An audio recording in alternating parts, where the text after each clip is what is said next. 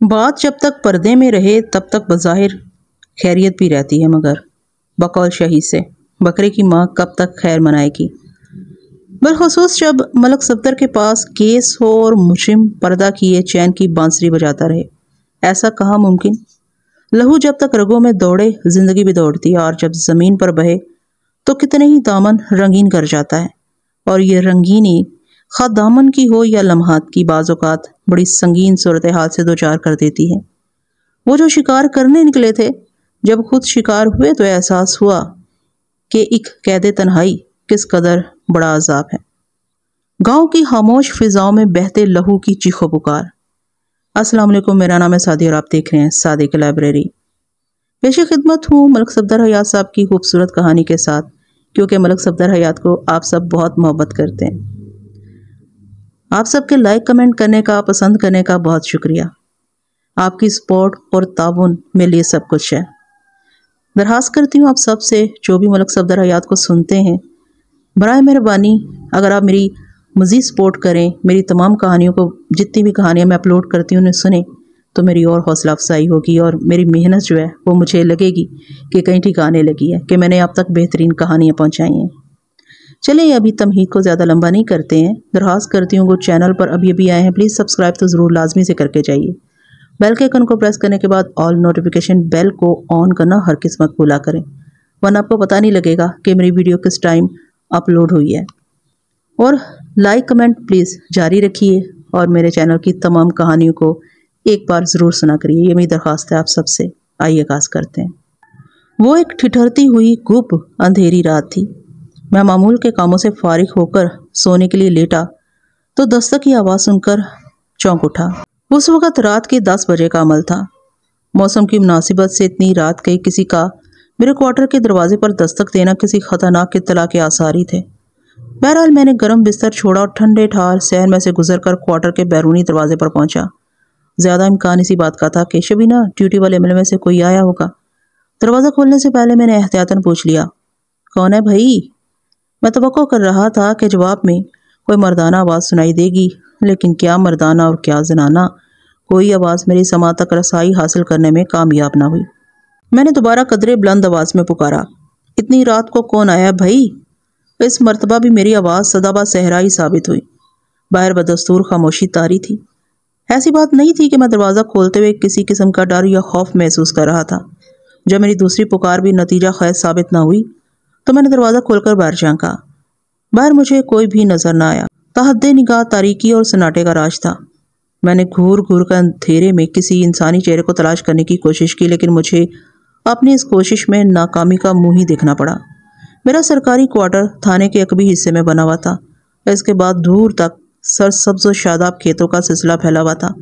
میں نے تھوڑی سی مٹر گشت کر کے کوارٹر کے دونوں میں نے تھوڑی سی مٹر گشت کر کے کوارٹر کے دونوں پہلوؤں میں اچھی طرح جھانک کر دیکھ لیا، لیکن وہاں کوئی نہیں تھا۔ جی میں خیال یہ بھی آیا کہ تھانے کے اندر جا کر صورتحال کا جائزہ لیتا ہوں، لیکن پھر میں نے فوراً ہی اس خیال کو مسترد کر دیا اور دروازے کو کنڈی لگا کر دوبارہ بستر میں گھس گیا۔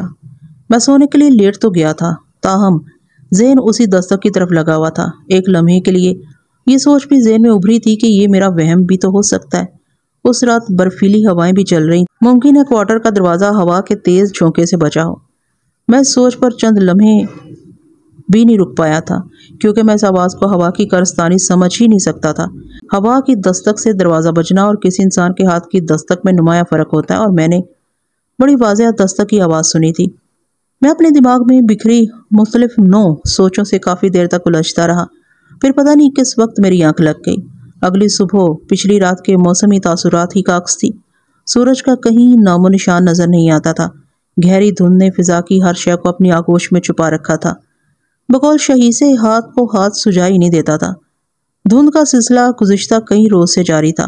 اگرچہ دن کے وسطی حصے میں کبھی کبھار سورج اپنی موجودگی ظاہر کرنے کے لیے بادلوں کی اور سے ہلکی پھلکی جھلک دکھا دیتا تھا، لیکن اس کی تمازت ماحول کے حصے میں نہیں آتی تھی۔ ان دنوں ہر شہر شدید سردی کے لپیٹ میں تھی۔ وہ جنوری کا مہینہ تھا اور لگتا تھا، اب ہمیشہ جنوری ہی رہے گا۔ میں نے حسب معمول ناشتہ اپنے کوارٹر میں کیا، پھر تیار ہو کر تھانے پہنچ گیا۔ صبح جب میں بیدار ہوا تو رات والا واقعہ میرے ذہن میں تازہ تھا اور اب وہ سوچ کے رت پر سوار ہو کر میرے ہی تھانے آ گیا تھا۔ میں نے اپنے کمرے میں پہنچ کر شبینہ ڈیوٹی والے اے ایس آئی کو اپنے پاس بلا لیا۔ مطلوب حسین میرے سامنے آ کر ایک کرسی پر بیٹھ چکا تو میں نے ٹھہرے ہوئے لہجے میں صرف سار کیا۔ رات کیسی گزری؟ مطلوب حسین۔ بڑی اچھی جناب اس نے جواب دیا۔ تھوڑی بہت نیند بھی لی یا ساری رات آنکھوں ہی میں کاٹ دی۔ رات کے آخری دو تین گھنٹے کے لیے سویا تھا جناب۔ اس نے صاف کوئی کم ظاہرہ کرتے ہوئے بتایا۔ پھر اذان کے ساتھ ہی آنکھ کھل گئی تھی۔ رات کے آخری پہر، میں نے اس کے کہے ہوئے الفاظ میں سے ایک ٹکڑا زیر لب دہرایا۔ پھر پوچھا آدھی رات کے بعد ہی سوئے ہوگے تم؟ جی بالکل۔ بولچن زدہ انداز میں میری طرف دیکھتے ہوئے بولا، میں لگ بھگ دو بجے سونے کے لیے لیٹا تھا۔ ہاں میں نے پرسوچ انداز میں ہنکارا بھرا پھر پوچھا، رات تھانے کے اندر تو سب خیر خیریت رہی تھی نا؟ کوئی نہ خوشگوار واقعہ تو پیش نہیں آیا تھا۔ بالکل ہی ملک صاحب، اس کے تجسس کا پیمانہ لبریز ہو گیا۔ ادھر تو سب امن و امان ہی رہا ہے۔ اس نے تشویشناک لہجے میں بتایا، پھر پوچھا، یہ آپ آج روٹین سے ہٹ کر کیوں باتیں کر رہے ہیں؟ پہلے تو آپ نے کبھی ایسا نہیں کیا۔ پہلے کبھی میرے ساتھ بھی تو ایسا نہیں ہوا ہے نا؟ میں نے کہا، آپ کے ساتھ ایسا کیا ہو گیا ملک صاحب؟ اس نے اسراری لہجے میں پوچھا۔ اس کے استفسار کے جواب میں میں نے متصر مگر جامع الفاظ میں اسے رات والے دستکی واقع سے آگاہ کر دیا۔ یہ ایسا ہی مطلوب حسین نے پوری توجہ سے میری بات سنی اور سرسری انداز میں بولا۔ ملک صاحب، رات کو کافی ٹھنڈی اور تیز ہوائیں بھی تو چل رہی تھیں۔ ہو سکتا ہے کہ آپ کی سماعت کو دھوکا ہوا ہو۔ ہوا کے دباؤ سے بجنے والے دروازے کی آواز کو آپ نے دستک کی آواز سمجھ لیا ہو۔ ایسا خیال ایک لمحے کے لیے میرے ذہن میں بھی آیا تھا مطلوب حسین۔ لیکن اگلے لمحے میں نے اس خیال کو اپنے ذہن سے جھٹک دیا تھا کیونکہ میری سماعت ہوا سے بجنے والے دروازے اور دستک کی مخصوص آواز میں بخوبی فرق کرنا جانتی ہے۔ اے ایس آئی نے مجھ سے الجھنے کی بجائے بڑے تحمل سے کہا، پھر آپ کے خیال میں وہ کون ہو سکتا ہے؟ اگر میرا خیال اس سلسلے میں رہنمائی کر دیتا تو اس وقت میں تم سے سوال و جواب نہیں کر رہا ہوتا، مطلوب حسین۔ میں نے ایک ایک لفظ پر دباؤ ڈالتے ہوئے کہا، میرا تو ذہن ہی کام نہیں کر رہا جناب۔ وہ بے بسی سے کندھے اچکاتے ہوئے بولا، آپ نے بڑی عجیب و غریب کہانی سنائی ہے۔ تمہارا ذہن شاید اس وقت ایک بھرپور نیند کا تقاضا کر رہا ہے، مطلوب حسین۔ اس لیے تم گھر جا کر آرام سے سو جاؤ۔ وہ میرے حکم کی تعمیل میں فوراً اٹھ کر کھڑا ہو گیا۔ میں نے اس بات میں گردن ہلا کر اسے جانے کی اجازت دے دی۔ اس نے مجھے سیلیوٹ کیا اور پھر کمرے سے نکل گیا۔ ان دنوں میں ایک چھوٹے سے قصبے فیروز آباد کے تھانے میں بطور انسپیکٹر تعینات تھا اور اس تھانے کا چارج مکمل طور پر میرے پاس تھا۔ لہٰذا میں تھانہ انچارج اور تھانے دار بھی کہلاتا تھا۔ تھانے کا عملہ متاثر سا تھا۔ میرے علاوہ ایک اے ایس آئی مطلوب حسین، ایک حولدار رجب علی اور چار کانسٹیبلز اسکر علی، امین، آصف اور عمران اس عملے کا حصہ تھے۔ ان میں سے مطلوب حسین اور کانسٹیبل امین مقامی تھے یعنی ان کا تعلق فیروز آباد ہی سے تھا۔ اس لیے میں نے اے ایس آئی کو گھر جا کر آرام کرنے کا مشورہ دیا تھا۔ قصبہ چھوٹا سا تھا، تھانہ محدود سا اور عملہ مختصر سا تھا، اور اسی سا سا سا کے ساتھ مجھے تانداری کرنی تھی۔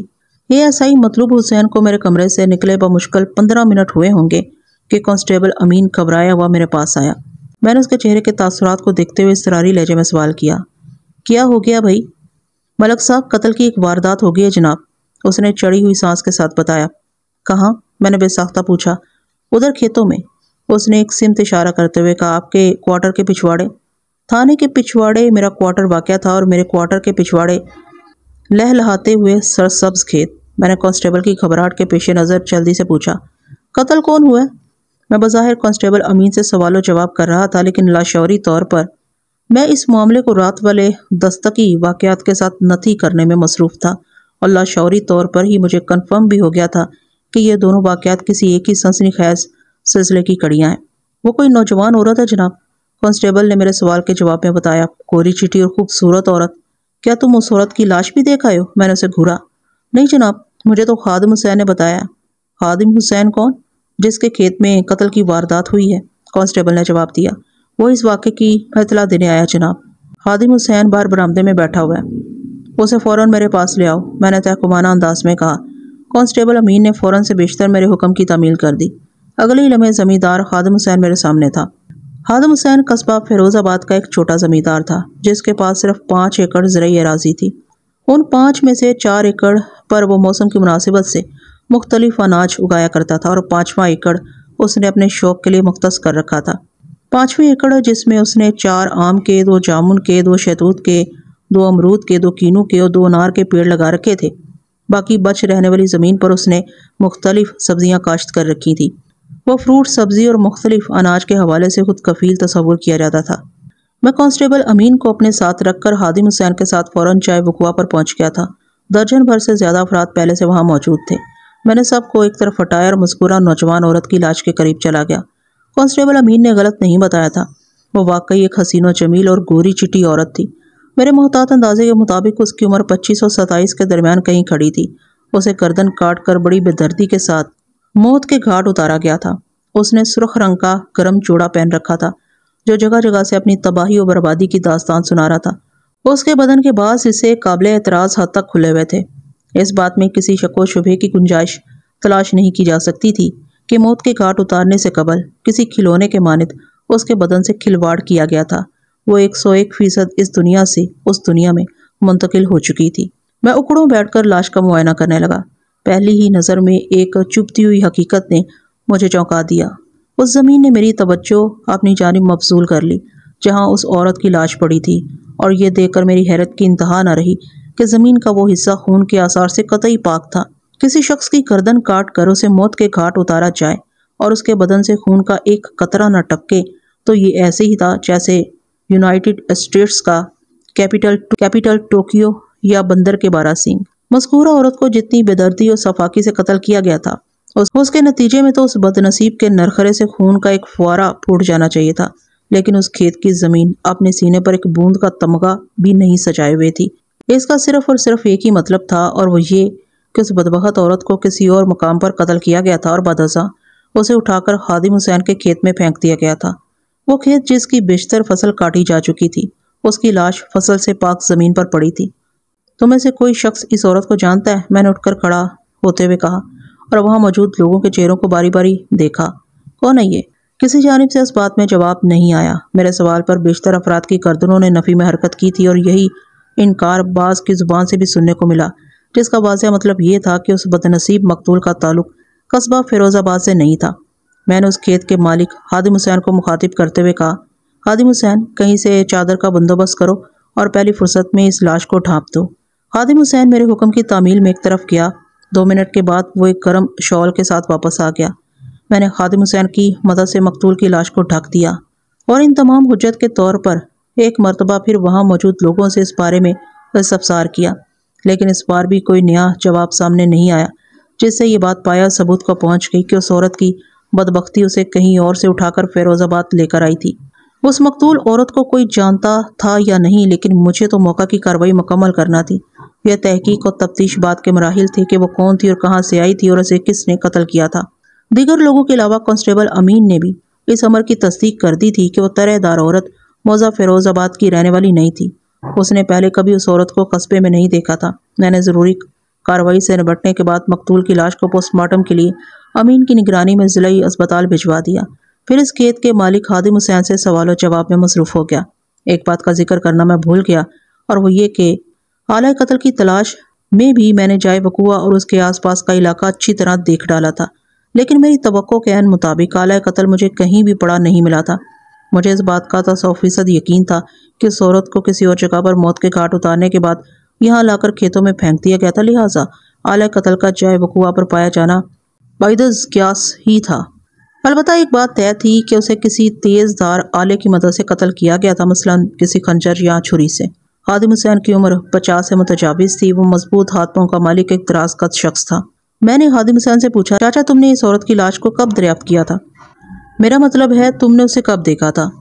جناب، میں دریافت کا مطلب بھی اچھی طرح سمجھتا ہوں۔ اس عورت کی لاش کو سب سے پہلے دینو کمہار نے دیکھا تھا۔ یہ دینو کمہار کون ہے؟ میں نے سوال کیا۔ دینو کا اصل نام دین محمد ہے جی۔ خادم حسین وضاحت کرتے ہوئے بولا، یہ ادھر قصبے ہی میں رہتا جناب۔ کیا دینو اس وقت یہاں موجود ہے جواب دینے کی بجائے اس نے وہاں موجود لوگوں پر ایک متلاشی نگاہ ڈالی۔ پھر ایک جانب اشارہ کرتے ہوئے بولا جی دینو وہ ادھر کھڑا ہے۔ میں نے خادم حسین کے اشارے کا نگاہی تعقب کیا اور با آواز بلند پکارا تینوں بابا یہاں آ جاؤ۔ اگلے ہی لمحے میرا اندازہ کچھ غلط ثابت ہو گیا۔ جب دو درجن افراد کے مجمع میں سے ایک ساملا سا نوجوان نکل کر میری جانب قدم بڑھانے لگا۔ میں تو یہی سمجھا تھا کہ دینو کمہار اچھی خاصی عمر کا کوئی بندہ ہوگا۔ جب ہی میں نے اسے دینو بابا کہہ کر اپنے پاس بلایا تھا، بہرحال کبھی کبھی انسان کا اندازہ الٹ بھی جاتا ہے۔ میں نے خادم حسین کی جانب متوجہ ہوتے ہوئے سوال کیا، جب تمہیں دینو نے اس عورت کی لاش کے بارے میں بتایا، اس وقت تم کہاں تھے؟ میں گھر سے نکل کر اپنے کھیتوں کی طرف آ رہا تھا جناب علی۔ وہ مجھے تفصیل سے آگاہ کرنے لگا۔ آج کل میں اپنی فصل کی کٹائی میں لگا ہوا ہوں۔ کل ایک کھیت میں کٹائی کا کام ادھورا چھوڑ گیا تھا۔ میں اسے مکمل کرنے کے لیے ہی آیا تھا، لیکن ابھی میں اپنے کھیتوں سے دو تین سو گز دوری تھا کسی جانب سے میں نے دینو کمہار کو آتے دیکھا۔ یہ مجھے بہت گھبرایا ہوا لگ رہا تھا۔ میرے کچھ پوچھنے سے پہلے ہی یہ بول پڑا، اس نے پھولی ہوئی سانس کے ساتھ مجھے بتایا کہ ادھر میرے کھیتوں میں کسی عورت کی گردن کٹی لاش پڑی ہے۔ میں اس کے ساتھ اپنے کھیتوں میں پہنچ گیا اور پھر میں نے اپنی آنکھوں سے اس بدن نصیب عورت کی لاش دیکھ لی۔ پھر تم نے کیا کیا؟ وہ اپنی بات مکمل کر کے خاموش ہوا تو میں نے پوچھ لیا جناب، میں تو بہت پریشان ہو گیا تھا۔ خادم حسین نے جواب دیا، اس وقت جتنے بھی لوگ آس پاس کے کھیتوں میں کام کر رہے تھے، وہ جمع ہو گئے اور ہم سب اس عورت کی دردناک موت کے بارے میں تبادلہ خیالات کرنے لگے۔ وہ ہم سب کے لیے قطعی اجنبی تھی۔ ہم میں سے کوئی بھی اسے جانتا یا پہچانتا نہیں تھا۔ اس واقعے کی خبر گاؤں کے اندر بھی پہنچ گئی تھی اور لوگ عورت کی لاش کو دیکھنے کے لیے کھیتوں میں آنے لگے تھے۔ دیکھتے ہی دیکھتے یہاں اچھا خاصا رش لگ گیا۔ اسی وقت کسی ہمدرد نے مجھے مشورہ دیا۔ اس نے سمجھانے والے انداز میں کہا کہ میں فوراً تھانے جا کر اس واقعے کی اطلاع دوں۔ عورت کی لاش میرے کھیتوں میں پڑی۔ اگر میں نے تھانے میں رپورٹ نہ کی تو الٹا کسی وبال میں آ جاؤں گا۔ بس جناب، پھر میں تھانے پہنچ گیا۔ یہ نیک مشورہ دینے والا تمہارا ہمدرد کون تھا؟ میں نے دریافت کیا۔ جناب، اس وقت تو مجھے یاد نہیں آ رہا۔ ٹھیک ہے، یہ کہتے ہوئے میں تینوں کمہار کی جانب متوجہ ہو گیا۔ جب یاد آ جائے تو مجھے بتا دینا خادم حسین۔ اچھا جی وہ اس بات میں گردن ہی لا کر رہ گیا۔ دین محمد عرف دینو کمہار کی عمر بیس اور پچیس سال کے درمیان رہی ہوگی۔ وہ ایک بھاری بھرکم اور سانولا نوجوان تھا۔ اس کے سر کے بال کھنگریالے تھے۔ میں نے اس کی آنکھوں میں دیکھتے ہوئے قدرے سخت لہجے میں سوال کیا ہاں بھائی دینو، تم صبح ہی صبح خادم حسین کے کھیتوں میں کیا کر رہے تھے؟ میں جی خادم حسین کے کھیتوں کی طرف تو موتی کی وجہ سے گیا تھا، ورنہ میرا وہاں کیا کام؟ اس نے جواب دیا جی میں اپنے کتے کی بات کر رہا ہوں تھانے دار صاحب۔ اچھا تو وہ کتا تمہیں خادم حسین کے کھیتوں میں لے گیا تھا۔ وہ وضاحت کرتے ہوئے بولا، بات دراصل یہ ہے جناب کہ جب سے ابا کو فالج کا اٹیک ہوا ہے دریا سے مٹی نکالنے کی ذمہ داری میرے سر پر آ گئی ہے۔ میں اپنے کھوتے یعنی کہ گدے اور کتے کے ساتھ صبح صبح مٹی نکالنے دریا کی طرف جا رہا تھا۔ جب میں خادم حسین کے کھیتوں کے قریب سے گزرا تو موتی نے بھونکنا شروع کر دیا۔ میں نے دو چار دبکے مار کر اسے اپنے ساتھ لے جانے کی کوشش کی، لیکن وہ خادم حسین کے کھیتوں کی جانب منہ اٹھا کر مسلسل بھونکے جا رہا تھا۔ چاروں طرف پھیلی ہوئی دھند کے باعث خادم حسین کے کھیتوں کا منظر واضح نظر نہیں آ رہا تھا، لیکن میں جانتا تھا کہ موتی خام یہ حرکت نہیں کر رہا تھا۔ مجھے یہ سمجھنے میں دیر نہ لگی کہ وہ کسی خاص وجہ سے میری توجہ ادھر کروانا چاہتا ہے۔ آپ تو جانتے ہیں تھانے دار صاحب، بے زبان جانوروں کی حص ہم انسانوں سے زیادہ تیز ہوتی ہے۔ ہاں ہاں بالکل جانتا ہوں۔ میں نے اس بات میں کردن ہلاتے ہوئے کہا اور بے زبان جانوروں میں بھی کتے کی سنگنے اور سننے کی حص انسانوں کی بنسبت بہت زیادہ ہوتی ہے۔ تو بس جناب، میں موتی کے توجہ دلانے پر ہی خادم حسین کے کھیتوں کی طرف گیا تھا اور وہاں پہنچ کر موتی کے بھونکنے کی وجہ سمجھ میں آ گئی۔ وہ عورت نیم برہنہ حالت میں کھیتوں میں پڑی تھی۔ اس کی حالت کو دیکھ کر میرے ذہن میں جو پہلا خیال آیا وہ یہی تھا کہ اب وہ زندہ نہیں ہے۔ ایک خوبصورت اور دلکش عورت کو خادم حسین کے کھیت مردہ پڑے دیکھ کر تمہارے احساسات کیا تھے اور تم نے وہ دل خراش منظر دیکھ لینے کے بعد کیا کیا تھا؟ میں نے سوال و جواب کے سلسلے کو سمیٹتے ہوئے کہا، جناب، اس عورت کی لاش کو دیکھ کر تو میرے رونگٹے کھڑے ہو گئے تھے۔ وہ ایک جھجری لیتے ہوئے بولا، اور فوری طور پر میری سمجھ میں یہی آیا کہ مجھے دوسرے لوگوں کو اس کے بارے میں فوراً بتانا چاہیے۔ یہ خیال آتے ہی میں نے ادھر ادھر نگاہ دوڑائی۔ آس پاس کے کھیتوں میں اکا دکا لوگ کام تو کر رہے تھے، لیکن دھند کے باعث ان کے حولے سے نظر آ رہے تھے۔ میں نے انہیں آواز دینے کا ارادہ کیا ہی تھا کہ حادم حسین مجھے اپنی جانب بڑھتا دکھائی دیا۔ بس، پھر میں نے سب سے پہلے اسے ہی عورت کی لاش کے بارے میں بتایا۔ میں نے دینوں کمہار کی نیت کو چیک کرنے کے لیے خاصے ساتھ لہجے میں کہا، دینوں، تم نے کہانی تو بڑی عمدہ جوڑ لی ہے۔ کون سی کہانی؟ وہ الجھن زدہ نظر سے مجھے تکنے لگا۔ یہی جو ابھی تم نے مجھے بتائی ہے۔ جناب میں نے آپ سے ایک لفظ بھی جھوٹ اور غلط نہیں کہا۔ وہ قدر حفقی امیز انداز میں بولا، اب جو کچھ پیش آیا وہی میں نے آپ کو بتایا۔ لیکن میں تمہاری بات کا یقین کیسے کر لوں؟ میں نے اس کی آنکھوں میں دیکھتے ہوئے کہا، یہ بھی تو ہو سکتا ہے کہ سورت کو تمہیں نے قتل کر کے یہاں پھینک دیا ہو۔ جناب، یہ آپ کیا کہہ رہے ہیں؟ وہ روحانسا ہو گیا۔ میں تو اس عورت کو جانتا تک نہیں، اسے تو یہاں پر کوئی بھی نہیں جانتا۔ دینوں میں نے بدستور اسے شخص زدہ نظر سے گھورتے ہوئے کہا ویسے تمہاری بے گناہی کیسے ثابت ہوتی ہے؟ تھانے دار صاحب، جو سچ تھا، وہ میں نے آپ کے سامنے بیان کر دیا۔ آپ کی مرضی ہے کہ میری بات کا یقین کریں یا نہ کریں۔ میرا پیشہ ورانہ تجربہ بتاتا تھا کہ وہ غلط بیانی سے کام نہیں لے رہا تھا۔ میرے اندازے کے مطابق تینوں اس عورت کے قتل میں ملوث نہیں ہو سکتا تھا، لیکن پھر بھی اسے اپنے دباؤ میں رکھنے کے لیے میں نے تنبیہی لہجے میں کہا، دیکھو دینوں تمہاری بات کا یقین کر کے میں تمہیں چھوڑ تو رہا ہوں، لیکن اس کا یہ مطلب نہیں نکالنا کہ میں نے تمہیں بے گناہ سمجھ لیا۔ کسی مرحلے میں اگر مجھے تم پر ذرا سا بھی شک ہوا تو میں تمہیں پکڑ کر فوراً تھانے میں بند کر دوں گا۔ جی بالکل۔ وہ بڑے نڈر انداز میں بولا، اور اس دوران میں تم اپنی آنکھیں، کان اور دماغ کے دروازے بھی کھلے رکھنا۔ میں نے تقیدی انداز میں کہا، اگر تمہیں اس اجنبی مقتول دوشیزہ کے بارے میں کہیں سے کوئی سن کن ملے تو فوراً آ کر مجھے بتانا۔ جی میں وہی کروں گا جیسا آپ کہہ رہے ہیں۔ اس نے بڑی فرما برداری سے کہا۔ میں نے مزید یہ دو تین سوالات کے بعد تین محمد عرف دینو کمہار کو فارغ کر دیا اور خود ٹہلتے ہوئے تھانے آ گیا۔ کسی قتل کی واردات میں جب مقتول اجنبی ہو اور علاقے کے لوگ اس کے بارے میں کچھ بھی نہ جانتے ہوں تو قاتل تک رسائی کے لیے تفتیش کی گاڑی کو تقریباً بریک ہی لگ جاتے ہیں۔ ایسی صورت میں عموماً کھرا نکالا جاتا ہے تاکہ یہ پتہ چلایا جا سکے کہ قاتل یا مقتول کن راہوں سے گزر کر چائے وقوع تک پہنچا ہوگا۔ کھوج کا یہ کام اکثر بڑے حوصلے افزا نتائج لاتا ہے۔ لہٰذا نامعلوم حسین و جمیل مقتول کا کھوج لہٰذا نامعلوم حسین و جمیل مقتول کا کھوج لگانے کے لیے میں نے بھی یہی تفتیشی طریقہ اختیار کیا۔ میں نے دوپہر سے تھوڑی دیر پہلے ایک کانسٹیبل کو بھیج کر کھوجی اللہ رکھا کو تھانے بلا لیا۔ اس دوران میں میرا ذہن مختلف زاویوں پر مسلسل سوچ بچار میں مصروف تھا اور میں اس پر اثرات دستک کو بھی ایک لمحے کے لیے نہیں بھولا تھا جو رات کو میرے کوارٹر کے بیرونی دروازے پر سنائی دی تھی۔ مذکورہ دستک کا نامعلوم عورت کے بہی معنی قتل سے کوئی تعلق تھا یا نہیں، لیکن یہ ضرور تھا کہ اس دستک نے گزشتہ رات ہی سے مجھے بے چین کر رکھا تھا۔ میں اسی پریشانی کو ذہن میں لے کر سویا تھا اور اسی الجھن کے ساتھ بیدار ہوا تھا اور پھر جب میں تھانے میں آ کر بیٹھا تو یہ واقعہ سامنے آ گیا۔ کوئی آواز میرے اندر چپکے چپکے سے یہ سرگوشی کر رہی تھی کہ رات والی دستک اجنبی تلنشی عورت کے قتل کے ساتھ ضرور کوئی نہ کوئی تعلق جڑا ہوا تھا۔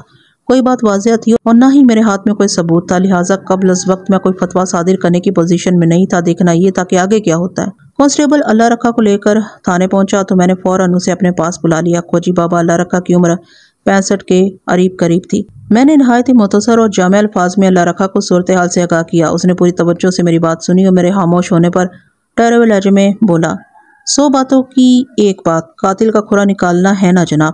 بالکل اللہ رکھا، میں نے اسی مقصد کے لیے تمہیں تھانے بلایا۔ کل ملا کر معاملہ یہ ہے کہ ہم جائے وقوع پر چلتے ہیں۔ اوپر ازم لہجے میں بولا، پھر دیکھتے ہیں حالات اور واقعات کیا رنگ دکھاتے ہیں۔ اللہ رکھا، تمہیں یہ تو احساس ہو گیا ہوگا کہ یہ کتنا حساس معاملہ ہے۔ میں نے سوالیہ نظر سے کھوجی بابا کی طرف دیکھا۔ آپ فکر ہی نہ کریں جناب پوٹ کر کھڑا ہو گیا۔ اور اس سلسلے میں جو بھی حقائق سامنے آئے، انہیں راز میں رکھنے کی ضرورت ہے۔ میں نے گہری سنجیدگی سے کہا، یہ معاملات صرف ہم دونوں کے بیچ میں رہیں گے۔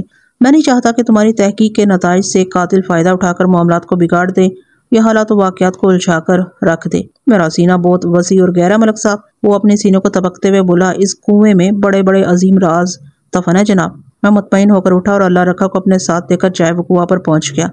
اللہ آپ کا بھلا کرے ملک صاحب۔ وہ کام کا آغاز کرتے ہوئے بولا، آپ نے خدمت کا موقع دے کر مجھ پر بڑی نوازش کیا جناب۔ ورنہ میں تو سمجھ رہا تھا ان بوڑھی ہڈیوں کو بیکار پڑے پڑے زنگ ہی لگ جائے گا۔ مخبر و کھوجی ہر دور میں پولیس ڈپارٹمنٹ کی ضرورت رہے ہیں۔ ہم لوگ گاہے بگاہے ان سے کام لیتے رہتے تھے۔ یہ لوگ بڑے کام کے ہوتے ہیں۔ جب بھی تفتیش کی گاڑی کسی بند گلی میں جا پھنستی ہے تو یہی لوگ اپنے تجربے اور مہارت کا دھکا لگا کر اسے سڑک پر لاتے ہیں۔ ان کی اہمیت اور افادیت سے کسی بھی صورت انکار ممکن نہیں ہے۔ اللہ رکھا دس منٹ تک جائے وقوع اور اس کے گد و نواح کا جائزہ لیتا رہا۔ وہ کبھی جھک کر زمین کو دیکھنے لگتا اور کبھی نیچے بیٹھ کر وہ مختلف زاویوں سے کھیت کا جائزہ لینے لگتا۔ میں بڑی دلچسپی سے اسے کام کرتے ہوئے دیکھ رہا تھا۔ یہ اس کا فن تھا لہٰذا میں خاموش تماشا ہی بنا۔ اس کی حرکات و سکنات کا نوٹس لیتا رہا۔ کوئی پندرہ منٹ کے بعد وہ میرے پاس آیا بڑے حتمی لہجے میں بولا، ملک صاحب، چونکہ صبح سارے لوگ جائے وقوع پر جمع ہو گئے تھے، لہٰذا یہاں درجنوں قدموں کے چھاپے آپس میں گڑمڑ ہو چکے ہیں، لیکن میں نے پھر بھی کام کی ایک بات پتہ چلا لی ہے۔ کام کی بات؟ میں نے چونک کر اس کی طرف دیکھا۔ وہ کیا اللہ رکھا؟ انسان کے متعدد قدموں کے کھرے کے علاوہ مجھے یہاں ایک جانور کا کھرا بھی ملا، ملک صاحب۔ وہ سنسناتے ہوئے لہجے میں بولا، اللہ رکھا کی بات سن کر میرا دھیان لمحہ دینوں کو مہار کی طرف چلا گیا۔ آج صبح اسی نے نامعلوم عورت کی لاش دریافت کی تھی اور اس کے ساتھ دو جانور بھی۔ میں نے اسی تناظر میں اللہ رکھا سے استفسار کیا۔ گدے یا کتے کا کھرا نہیں جناب، اس نے نفی میں گردن ہلائی۔ ان دونوں میں سے کسی کا نہیں۔ میری حیرت الجھن میں بدل گئی۔ وہ بڑے بڑے اعتماد انداز میں بولا، میں گھوڑے کے کھرے کی بات کر رہا ہوں، ملک صاحب۔ گھوڑے کا کھرا میں سوالی نظر سے اس کی طرف دیکھنے لگا۔ جی ہاں اس نے بڑے وسوخ سے سر کو اس باتی جنبش دی اور بتایا۔ کوئی گھوڑا سوار یہاں تک آیا تھا اور یہاں سے واپس بھی کیا تھا۔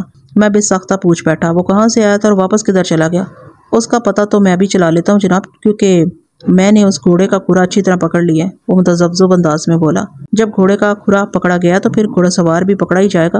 میں نے اللہ رکھا کے چہرے کے تاثرات کا جائزہ لیتے ہوئے کہا، لیکن تمہارے چہرے پر الجھن کیوں پھیلی ہوئی ہے؟ کوئی پریشانی والی بات تو نہیں۔ کوئی پریشانی نہیں ملک صاحب۔ وہ تسلی بھرے انداز میں بولا، کل ملا کر یہ سمجھ لیں کہ گھوڑے کا کھرا مجھے ایک نئے زاویے پر سوچنے کے لیے مجبور کر رہا ہے۔ کون سا نیا زاویہ اللہ رکھا؟ میں پوچھے بنا نہ رہ سکا۔ سو باتوں کی ایک بات ملک صاحب۔ وہ سوچ میں ڈوبے ہوئے لہج میں بولا، میرا تجربہ یہ بتاتا ہے کہ جب گھوڑا اس طرف آیا تو اس پر دو افراد سوار تھے اور جب وہ یہاں سے واپس گیا تو اس کی پیٹ پر صرف ایک ہی سوار تھا۔ یہ بات تم اتنے وسوخ سے کیسے کہہ رہے ہو اللہ رکھا؟ گھوڑے کے پاؤں کے مخصوص دباؤ کی بنا پر جناب۔ اس جانب آتا ہوا کھرا بتاتا ہے کہ گھوڑے پر ایک سے زیادہ افراد سوار تھے اور یہاں سے واپس جاتا ہوا کھرا ایک سوار کی نشاندہی کر رہا ہے۔ چاہتے ہوئے کھرے کی نسبت آنے والا کھرا ڈبل دباؤ کی جانب اشارہ کرتا ہے۔ ٹھیک ہے، اللہ رکھا۔ میں نے کچھ سوچتے ہوئے کہا آپ تم جلدی سے یہ پتہ چلانے کی کوشش کرو کہ وہ ڈبل گھوڑا سوار گھوڑا کہاں سے آیا تھا اور یہاں سے سنگل گھوڑ سوار گھوڑا بن کر کہاں چلا گیا۔ ابھی پتہ چلاتا ہوں، سرکار۔ وہ پرعزم انداز میں بولا، آگے حالات و قدرت کیا رنگ دکھاتے ہیں، یہ بھی سامنے آ ہی جائے گا۔ اپنی بات ختم کرتے ہی وہ بڑے ماہرانہ انداز میں کام میں جت گیا۔ مزید ایک گھنٹے کی تحقیق و جستجو کے بعد کھوجی بابا نے جو سنسی خیز انکشافات کیے وہ سننے اور بتانے سے تعلق رکھتے تھے۔ لیکن اس سے پہلے میں اس لوکیشن کی وضاحت کرنا چاہوں گا جہاں کی چھان پٹک کے بعد اللہ رکھا نے اپنا تحقیقی بیان جاری کیا تھا۔ آگے بڑھنے سے قبل ایک بات کی وضاحت کر دوں کہ اب کھوجی کا کہیں ذکر نہیں آئے گا۔ اس کا کام ختم ہو گیا تھا۔ اس کیس میں مجھے جس حد تک اس کی تکنیکی مدد کی ضرورت تھی وہ اس نے مجھے فراہم کر دی تھی۔ اس معاملے کی الجھی ہوئی ڈور کا ایک سرا اللہ رکھا کے توسط سے میرے ہاتھ لگ گیا تھا۔ زگ زیگ کرتے ہوئے دوسرے سرے تک رسائی حاصل کرنا میرا کام تھا اور مجھے یقین تک میں اپنا کام بطریقے احسن انجام دے لوں گا۔ سنگل گھڑ سوار اور ڈبل گھڑ سوار کا ذکر سنتے ہی میرے ذہن میں تیز روشنی کا ایک چھماکہ ہوا تھا اور میں پلک چھپکتے میں ایک حتمی نتیجے پر پہنچ گیا۔ اسی چھماکے کی ضیا پاشیوں سے آپ کو بھی منور کرتا ہوں۔ میرے خیال میں قاتل اس نامعلوم عورت کی لاش کو گھوڑے کی پیٹ پر لاد کر جائے وقوع تک پہنچا تھا، پھر اس لاش کو خادم حسین کے کھیتوں میں پھینک کر واپس چلا گیا تھا۔ آپ اگر میرے ان الفاظ پر غور کریں گے تو سنگل دباؤ والا کھرا اور ڈبل دباؤ والا کھرا کا مفہوم بآسانی آپ کی سمجھ میں آ جائے گا۔ تو میں آپ کو لوکیشن کے بارے میں بتا رہا تھا۔ جیسا کہ اس کہانی کی ابتدا میں اس بات کا ذکر کیا جا چکا ہے کہ ان دنوں میں فیروز آباد نامی ایک چھوٹے سے قصبے کے ایک چھوٹے سے تھانے میں تعینات تھا۔ میرا تھانہ ایک کچی سڑک کے کنارے واقع تھا جو شمالن جنوباً رواں دواں رہتی تھی۔ فیروز آباد گاؤں لگ بھگ ڈیڑھ سو گھروں کی ایک آبادی تھی جو لوکیشن کے اعتبار سے میرے تھانے کے قب میں مشرقی جانب آباد تھا۔ تھانے اور گاؤں کے درمیان بمشکل آدھے میل کا فاصلہ رہا ہوگا جو سرسبز و شاداب کھیتوں کے قبضے میں تھا۔ گاؤں کے چودھری الہی بخش کی حویلی بھی گاؤں کے کنارے پر واقع تھی۔ تھانے سے لگ بھگ ایک فرلانگ یعنی کہ دو سو بیس گز کے فاصلے پر جنوب میں ایک دریا بہتا تھا۔ یہ دریا مشرق سے مغرب کے سمت رواں دواں تھا اور اسی دریا کے کنارے سے دینوں کو مہار مٹی نکالنے آیا کرتا تھا۔ آسانی کے لیے یوں سمجھ لیں کہ فیروز آباد گاؤں میرا تھانہ، دریا اور کچی سڑک کے بیچ ایک سرے سے دوسرے سرے تک کھیتوں کا سلسلہ پھیلا ہوا تھا اور انہی کھیتوں میں دریا کے کنارے کے ساتھ ایک ڈیرا بھی بنا ہوا تھا جو کہ چودھری الہی بخش کی ملکیت تھا۔ مذکورہ ڈیرے پر چودھری کا ملازم خاص رحم دین عرف رحمو رہتا تھا جو چودھری کے چھوٹے موٹے کاموں کے علاوہ کشتکاری کی امور کی نگرانی بھی کرتا تھا اور سب سے دلچسپ اور چونکا دینے والی بات یہ تھی کہ کوجی بابا اللہ رکھا نے کھرے کی مدد سے جس گھوڑے کا سراغ لگایا تھا، وہ اسی ڈیرے سے چل کر چائے وقوع تک پہنچا تھا اور پھر چائے وقوع سے واپس اس ڈیرے پر آیا تھا۔ اس انکشاف نے میرے رگو پے میں سنسناہٹ بھر دی تھی۔ غروب آفتاب سے چند منٹ پہلے کی بات اے ایس آئی مطلوب حسین ڈیوٹی پر آیا تو میں نے فوراً اسے اپنے کمرے میں بلا لیا۔ وہ اسی گاؤں کا رہنے والا تھا اور میں امید کر رہا تھا کہ جیسے ہی اسے حادم حسین کے کھیتوں سے اس عورت کی لاش ملنے کی خبر ہوگی، وہ دوڑا دوڑا میرے پاس چلائے گا، لیکن ایسا کچھ نہیں ہوا تھا۔ وہ حسب معمول اپنے مقررہ وقت پر ہی تھانے پہنچا تھا اور اس کی صدا پر مجھے حیرت بھی ہوئی۔ جبھی میں نے اسے فوراً اپنے کمرے میں بلا لیا تھا، اب یہ تو ہو ہی نہیں سکتا تھا کہ خوبصورت نامعلوم عورت کی دردناک موت والا قصہ اس کے گھر کی دہلی سے نہ گزرا ہو۔ ملک صاحب، یہ آج کیسا واقعہ پیش آ گیا ہے؟ میرے کچھ پوچھنے سے پہلے اس نے سوال کر دیا، تم تو ایسے مجھ سے پوچھ رہے ہو جیسے تمہیں کچھ پتہ ہی نہ ہو۔ میں نے اس کی آنکھوں میں جھانکتے ہوئے شکوا بھرے انداز میں کہا، یقین کرے مجھے بھی تھوڑی دیر پہلے ہی اس واقعے کا علم ہوا ہے۔ وہ ایک دم بے سنجیدہ نظر آنے لگا۔ میں نے پوچھا، مطلوب حسین، کیا تم نے آج کا دن فیروز آباد سے باہر کہیں گزارا ہے؟ نہیں جناب، میں تو ادھر ہی تھا، اپنے گھر میں۔ کمال ہے، پھر بھی تمہیں اتنے بڑے معاملے کی کوئی خبر نہیں ہوئی۔ جناب، میں گہری نیند سویا ہوا تھا۔ تمہارے گھر والوں میں سے کسی نے جگانے کی کوشش نہیں کی۔ گھر میں کوئی ہوتا تو یہ کوشش کرتا نا؟ کیا مطلب ہے تمہارا؟ میں نے آنکھیں سکیڑ کر اسے گھورا۔ وہ وضاحت کرتے ہوئے بولا، ملک صاحب، میری گھر والی بچوں کے ساتھ سسرال یعنی اپنے مائکے گئی ہوئی ہے۔ نیند کافی جمع ہو چکی تھی۔ میں تھانے سے جانے کے بعد ایسا پڑھ کر سویا کہ کوئی آدھا گھنٹہ پہلے ہی میری آنکھ کھلی ہے۔ مجھے جیسے ہی پتا چلا کہ صبح خادم حسین کے کھیتوں میں سے کسی نامعلوم عورت کی لاش ملی ہے، میں آپ کی طرف آ گیا ہوں۔ یہ ہے کل کہانی جناب۔ میں نے نہ تو دوپہر کا کھانا کھایا اور نہ ہی ابھی گھر سے کچھ کھا کر نکلا ہوں۔ اب تم کل صبح ایک ساتھ ہی ناشتہ کرنا، میں نے زمانی انداز میں کہا۔ رات کے سات بجے تھے، لیکن یوں وہ تعجب و خیز نظر سے مجھے دیکھنے لگا، کیونکہ میں ابھی تمہیں ایک اور مشن پر روانہ کرنے والا ہوں۔ کیسا مشن ملک صاحب؟ اس کی حیرت میں پریشانی بھی شامل ہو گئی۔ اس مشن کو تم اس وقت تک نہیں سمجھ سکو گے جب تک تمہیں میں صبح والے واقعات کی تفصیلات سے آگاہ نہ کر دوں۔ میں نے گھمبیر لہجے میں کہا، سنو گے تو بھوک، پیاس اور نیند سب کچھ اڑن چو ہو جائے گا۔ وہ بڑی سنسنی خواہش نظر سے مجھے دیکھتے ہوئے ہمتن گوش ہو گیا۔ میں نے آئندہ پانچ منٹ میں اے ایسے مطلوب حسین کو تازہ ترین حالات سے آگاہی فراہم کی، پھر کہا، تمہیں ابھی اور اسی وقت ڈیرے کی جانب روانہ ہونا ہے۔ میں آدھے گھنٹے کے اندر چودھری کے خاص ملازم رحم دین عرف رحموں کو اپنے سامنے دیکھنا چاہتا ہوں۔ میں نے تحکمانہ انداز میں کہا، تم اپنے ساتھ ایک آدھ کانسٹیبل کو بھی لے جاؤ تاکہ گرفتاری کے عمل میں کسی دشواری کا سامنا نہ ہو۔ آدھا گھنٹہ تو آپ نے بہت بتایا ہے۔ میں انشاءاللہ اس سے پہلے ہی آپ کو خوشخبری سناؤں گا۔ اور جب تم کامیاب لوٹو گے تو میں بھی تمہیں خوشخبری دوں گا۔ میں نے مانی خیز نظر سے اسے دیکھتے ہوئے کہا۔ وہ کوئی سوال کیے بغیر بڑی اطاعت مندی سے اٹھا اور میرے کمرے سے نکل گیا۔ ٹھیک پانچ منٹ کے بعد وہ کانسٹیبل عمران کو اپنے ساتھ لے کر چودھری الہی بخش کے ڈیرے کی جانب روانہ ہو چکا تھا۔ میں جانتا تھا کہ میں نے مطلوب حسین کو حالی پیٹ رحموں کی گرفتاری کے لیے بھیج دیا تھا۔ ایک طرح سے زیادتی والی بات نظر آتی تھی، لیکن مجھے معلوم تھا کہ اگر پندرہ بیس منٹ مزید اس کے پیٹ میں کھانا نہ پہنچا تو کوئی قیامت برپانی ہو جائے گی۔ وہ اس مشن سے واپسی پر بھی پیٹ پوجا کر سکتا تھا، پھر میں نے اس کے لیے کچھ اور سوچ لیا تھا۔ اگر میں نے واپسی پر اسے خوشخبری دینے کی بات کی تھی تو کچھ غلط نہیں کیا تھا۔ اپنے الفاظ کو عملی جامع پہنانے کے لیے میں نے کانسٹیبل آصف کو اپنے پاس بلایا اور چند ہدایات دے کر روانہ کر دیا۔ ہمارے تھانے کے ساتھ ایک تانگا سٹینڈ تھا جہاں تین چار دکانیں بھی بنی ہوئی تھیں اور انہی دکانوں میں ایک تنور والا ہوٹل بھی تھا۔ کہنے اور دیکھنے کو تو وہ ایک اچھا چھپر ہوٹل تھا، لیکن یہ بات میرے تجربے میں کئی بار آ چکی تھی کہ وہاں کے کھانے بڑے لذیذ اور خوش ذائقہ ہوا کرتے تھے۔ میں نے کانسٹیبل آصف کو اسی ہوٹل میں بھیجا اور تاکید کی کہ وہ بیس پچیس منٹ کے بعد خاصا صحت مند کھانا لے کر آ جائے۔ یہ بات میرے علم میں تھی کہ مطلوب حسین کھانے پینے کا بہت شوقین تھا۔ کوئی کھانے کا شائق ہو اور وہ پچھلے بارہ گھنٹے سے بھوکا بھی ہو تو اس کی نظر میں دنیا کے سب سے عظیم نعمت کھانے کا اصول ہی ہو سکتا تھا۔ میں نے اے ایس آئی کی ضیافت کے لیے کانسٹیبل کو مرغی مسالہ لانے کا حکم دیا تھا۔ میں لمحات میں اپنی کرسی پر بیٹھا، مسلسل اس حسین اور جمیل عورت کے بارے میں سوچ رہا تھا، جس کی لاش کو صبح میں نے پوسٹ مارٹم کے لیے سرکاری اسپتال بھجوایا تھا۔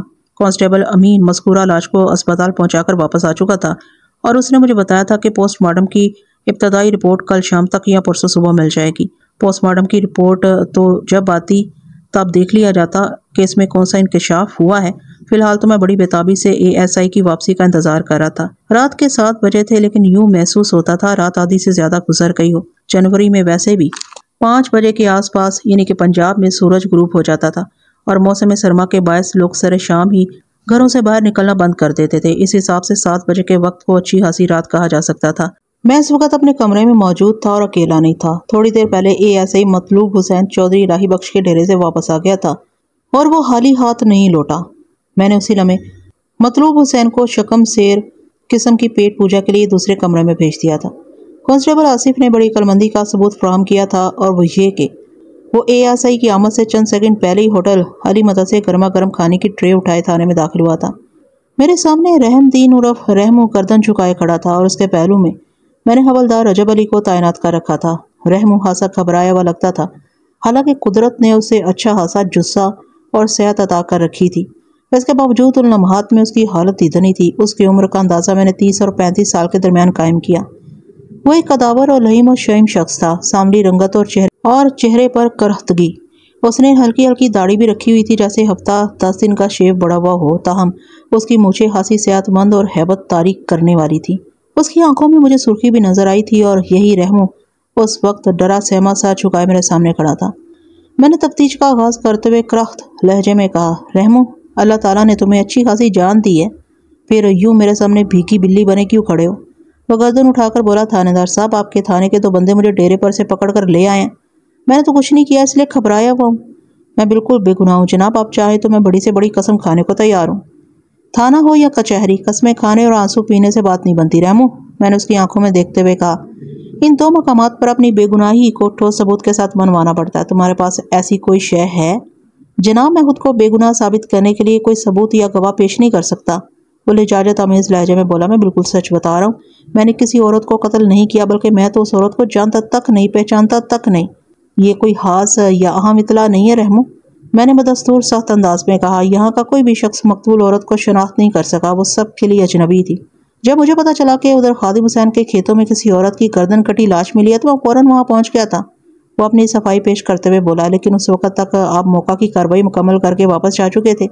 وہاں پر موجود لوگوں نے مجھے بتایا کہ مذکورہ عورت کی لاش کو سرکاری اسپتال بھجوا دیا گیا پھر جناب، میں واپس ڈیرے پر آ گیا تھا۔ اس کے بعد گاؤں میں کیا ہوتا رہا، مجھے کوئی خبر نہیں۔ اب آپ کے بندے مجھے اس عورت کے قتل کے الزام میں پکڑ کر تھانے لے آئے۔ مجھ پر رحم کرے۔ سرکار قتل کی اس واردات سے میرا کوئی تعلق نہیں ہے۔ میں نے اس کے بیان کو چیک کرنے کی غرض سے کہا، اگر تمہارا رحم، اگر تمہارا نام رحم دین ہے تو اس کا مطلب یہ نہیں کہ میں تمہیں کھلی چھوٹ دے دوں گا۔ میں رحم صرف ان لوگوں پر کرتا ہوں جو بے قصور اور معصوم ہوتے ہیں، یا پھر ان لوگوں پر جو قانون کے ساتھ پورا پورا تعاون کرتے ہیں۔ سرکار، اس بات کا تو آپ پکا یقین کر لیں کہ میں بے گناہ ہوں۔ وہ گہری سنجیدگی سے بولا، اور جہاں تک قانون سے تعاون کرنے کا سوال ہے تو میں حاضر ہوں۔ آپ مجھے حکم دے کرنا کیا ہے۔ اس دوران میں حوالدار رجب علی دو تین بار بڑی مان خیز اور سوالیہ نظر سے مجھے دیکھ چکا تھا۔ اس کی ایسی نظر کا واضح مطلب یہی تھا کہ ملک صاحب اگر اجازت ہو تو دو چار ہاتھ رکھوں اس سرما کی گردن پر۔ اس بات پہ کسی شک و شبے کی گنجائش نہیں کہ میں نے حوالدار رحموں کے پہلو میں اسی لیے کھڑا کیا تھا کہ بوقت ضرورت وہ اس کی غلط بیانی پر ایک زوردار چھانپڑا رسید کر سکے، لیکن میرے خیال میں ابھی ایسا موقع پیدا نہیں ہوا تھا۔ اس لیے میں نے رجب علی کو زحمت نہیں دی تھی۔ میں ملزموں سے خم کی مار پیٹ اور تشدد کا قائل نہیں ہوں۔ لیکن اگر سیدھی انگلی سے گھی نہ نکل پا رہا ہو تو پھر میں انگلی کو ٹیرا کرنے میں ایک لمحے کی تاخیر برداشت نہیں کرتا۔ میں نے رحمو کی آنکھوں میں دیکھتے ہوئے سوال کیا، تم آج کتنے بجے جائے وقوع پر پہنچے تھے؟ اس وقت لگ بھگ گیارہ بجے ہوں گے جی اس نے کوئی سوچتے ہوئے جواب دیا۔ مجھے اچھی طرح یاد تھا کہ میں نے کوئی دس بجے وقوع کی کاروائی مکمل کر لی تھی اور دینوں کمہار کے انٹرویو کے بعد کم و بیش ساڑھے دس بجے تک میں واپس تھانے آ گیا تھا۔ اس حوالے سے رحمو کا بیان درست تھا، تاہم اس معاملے میں ابھی بہت سے پہلو میرے لیے اطمینان بخش نہیں تھے، چنانچہ میں نے رحمو کی کسائی جاری رکھی۔ سورج اگنے کے فوراً بعد یعنی لگ بھگ صبح سات بجے، پورے فیروز آباد کو اس بات کی خبر ہو چکی تھی کہ خادم حسین کے کھیتوں میں کسی نامعلوم عورت کی گردن کٹی لاش ملی ہے۔ میں نے چپتے ہوئے لہجے میں کہا، جائے وہ تمہارے ڈیرے سے تقریباً دو سو گز کے فاصلے پر ہے، پھر تم چار گھنٹے دیر سے وہاں کیوں پہنچے تھے؟ جناب، جب مجھے پتا چلتا تبھی تو جانا تھا نا۔ تو تم یہ کہہ رہے ہو کہ اس واقعے کی اطلاع گیارہ بجے کے آس پاس تم تک پہنچی تھی۔ میں نے تنزیہ لہجے میں صفسار کیا۔ ہاں جی یہی بات ہے۔ اس نے اس بات میں گردن ہلائی۔ تو صبح سے تمہاری نظروں کے سامنے ادھر کھیتوں میں جو لوگ جمع ہو رہے تھے، وہ تمہیں دکھائی نہیں دیے تھے؟ میں نے تیز نظر سے اسے گھورا تم یہی سمجھے ہوگے کہ وہاں کبڈی کا کوئی ٹورنامنٹ ہو رہا ہے نا؟ جناب، میں آپ کو سمجھاتا ہوں۔ وہ منت ریز انداز میں بولا، ایک بات اچھی طرح اپنے ذہن میں بٹھا لو رحمو۔ میں نے اس کے کچھ بولنے سے پہلے بڑی صفاقی سے کہا، مجھے کوئی چکر دینے یا کوئی دلچسپ کہانی سنانے کی کوشش نہیں کرنا، میرا حوالدار، بڑی دیر سے اپنے ہاتھ پاؤں کو حرکت دینے کے لیے بے چین کھڑا۔ اگر مجھے تمہاری باتوں میں سے غلط بیانی کی بو آئی تو میں اسے اشارہ کرنے میں ذرا سی بھی ہچکچاہٹ کا مظاہرہ نہیں کروں گا۔ پھر تمہاری ہڈی پسلی کا جو بھی حشر ہو، فریاد نہیں کرنا، کیونکہ رجب علی گریہ زاری کرنے والوں کی اور زیادہ ٹھکائی کرتا ہے۔ میری خطرناک اور دھمکی امیز باتیں سن کر اس کے چہرے کا رنگ فق ہو گیا۔ جلدی سے بولا تھانے دار صاحب، آپ کو میری بات کا چاہے یقین آئے یا نہ آئے، مگر میں پھر بھی قسم کھا کر کہتا ہوں کہ آپ سے ایک لفظ کا بھی جھوٹ نہیں بولوں گا۔ ٹھیک ہے، بتاؤ سچ کیا ہے؟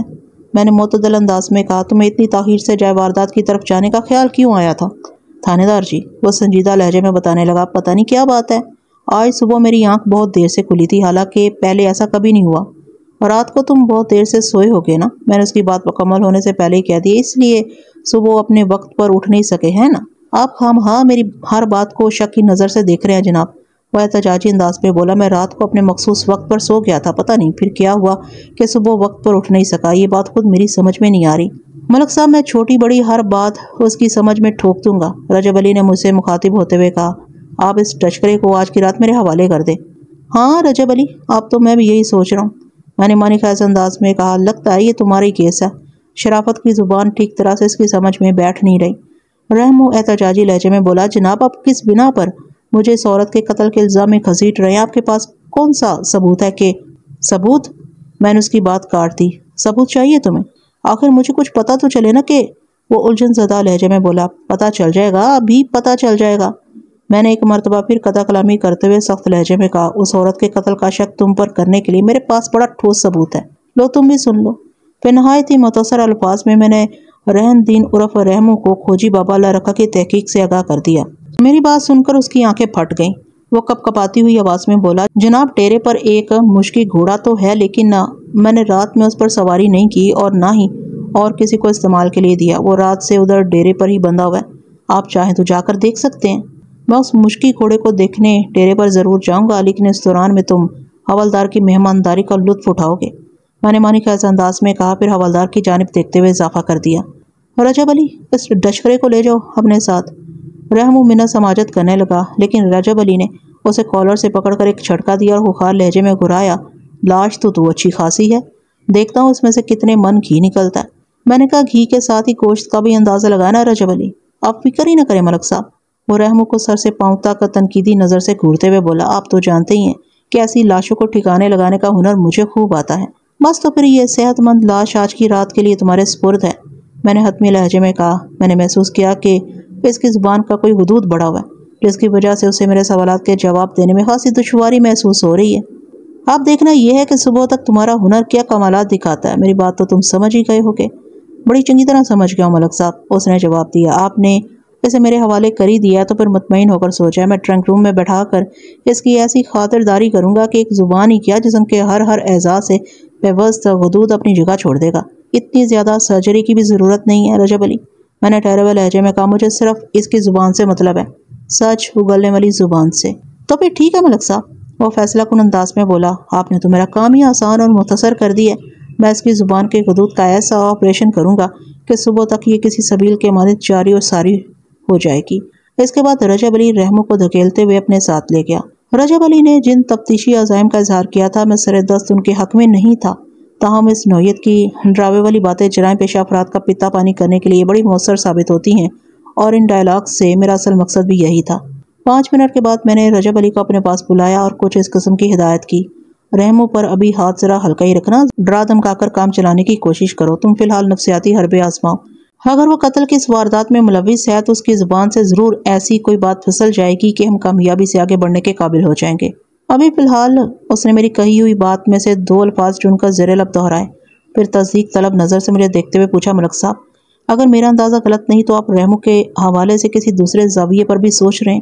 تمہارا اندازہ واقعی غلط نہیں ہے، رجب علی۔ میں نے صاف کوئی کا مظاہرہ کرتے ہوئے کہا رحمو کے حوالے سے مجھے ابھی کہاں رپورٹ موصول ہونے کا انتظار ہے؟ آج کی رات تم رحمو کے ساتھ تھوڑی سی نیٹ پریکٹس کر لو۔ اصل میچ کل شروع کرنا۔ جو آپ کو حکم ملک صاحب اس نے فرما برداری سے کہا اور میرے کمرے سے رخصت ہو گیا۔ اگلے لمحے اے ایسا ہی مطلوب حسین میرے پاس حاضر ہو گیا۔ اس کے چہرے پر اب خاصی رانائی اور توانائی نظر آ رہی تھی۔ اس نے خوب سیر ہو کر پیٹ پوجا کی تھی۔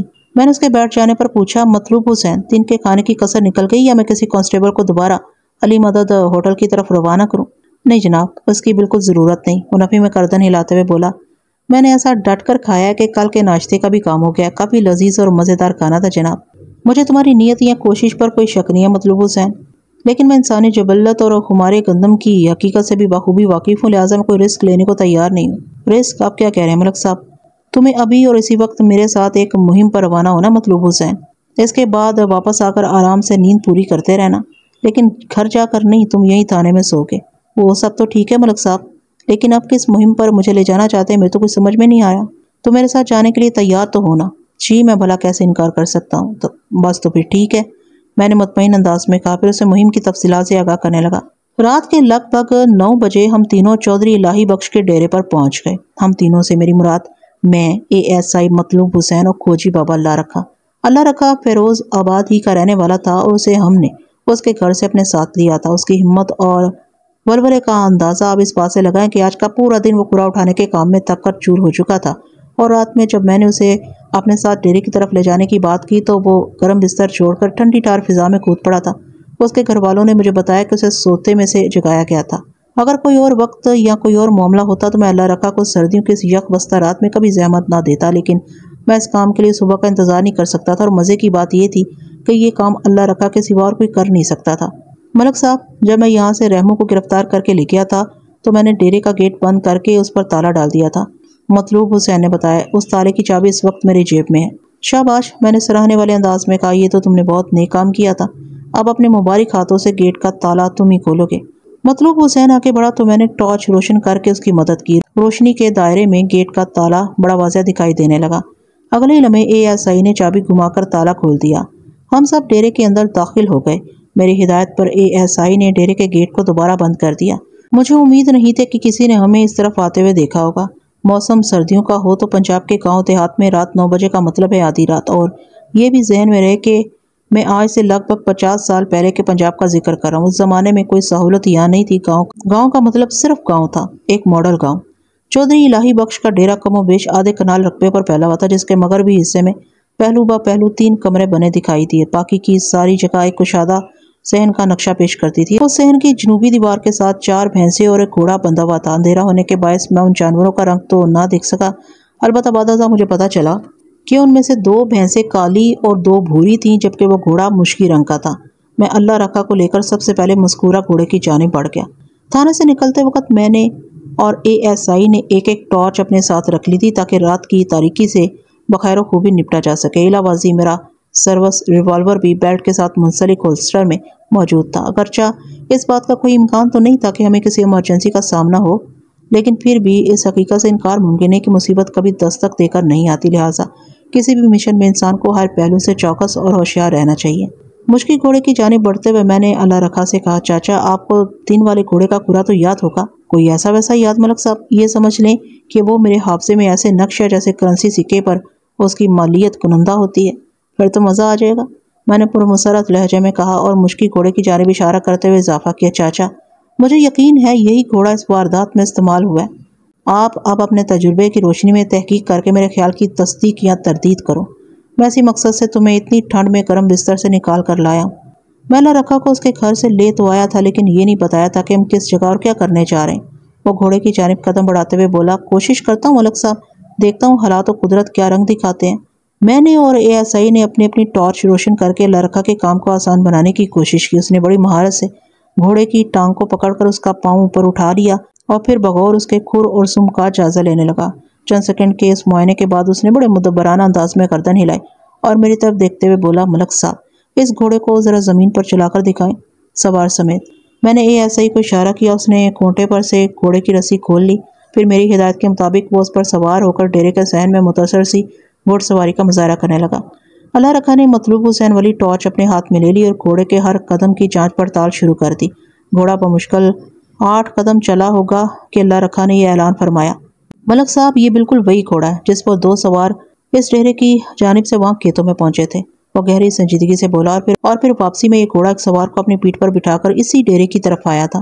گھوڑے کا کھرا دیکھ کر مجھے نوے فیصد یقین ہو گیا تھا اور اس کی چال اور اس کی چال کے نتیجے میں بننے والے کھرے نے مجھے سو فیصد یہ یقین دلا دیا کہ یہ وہی گھوڑا جس کی آپ کو تلاش تھی ملک ہم نے اس ڈیرے پر رہنے والے چودھری الہی بخش کے ملازم خاص رحم دین اور افرحموں کو گرفتار کر لیے۔ میں نے اللہ رکھا کو بتایا، تانے میں اسے پوچھ گچھ کی جا رہی ہے۔ انشاءاللہ بہت جلد یہ کیس حل ہو جائے گا۔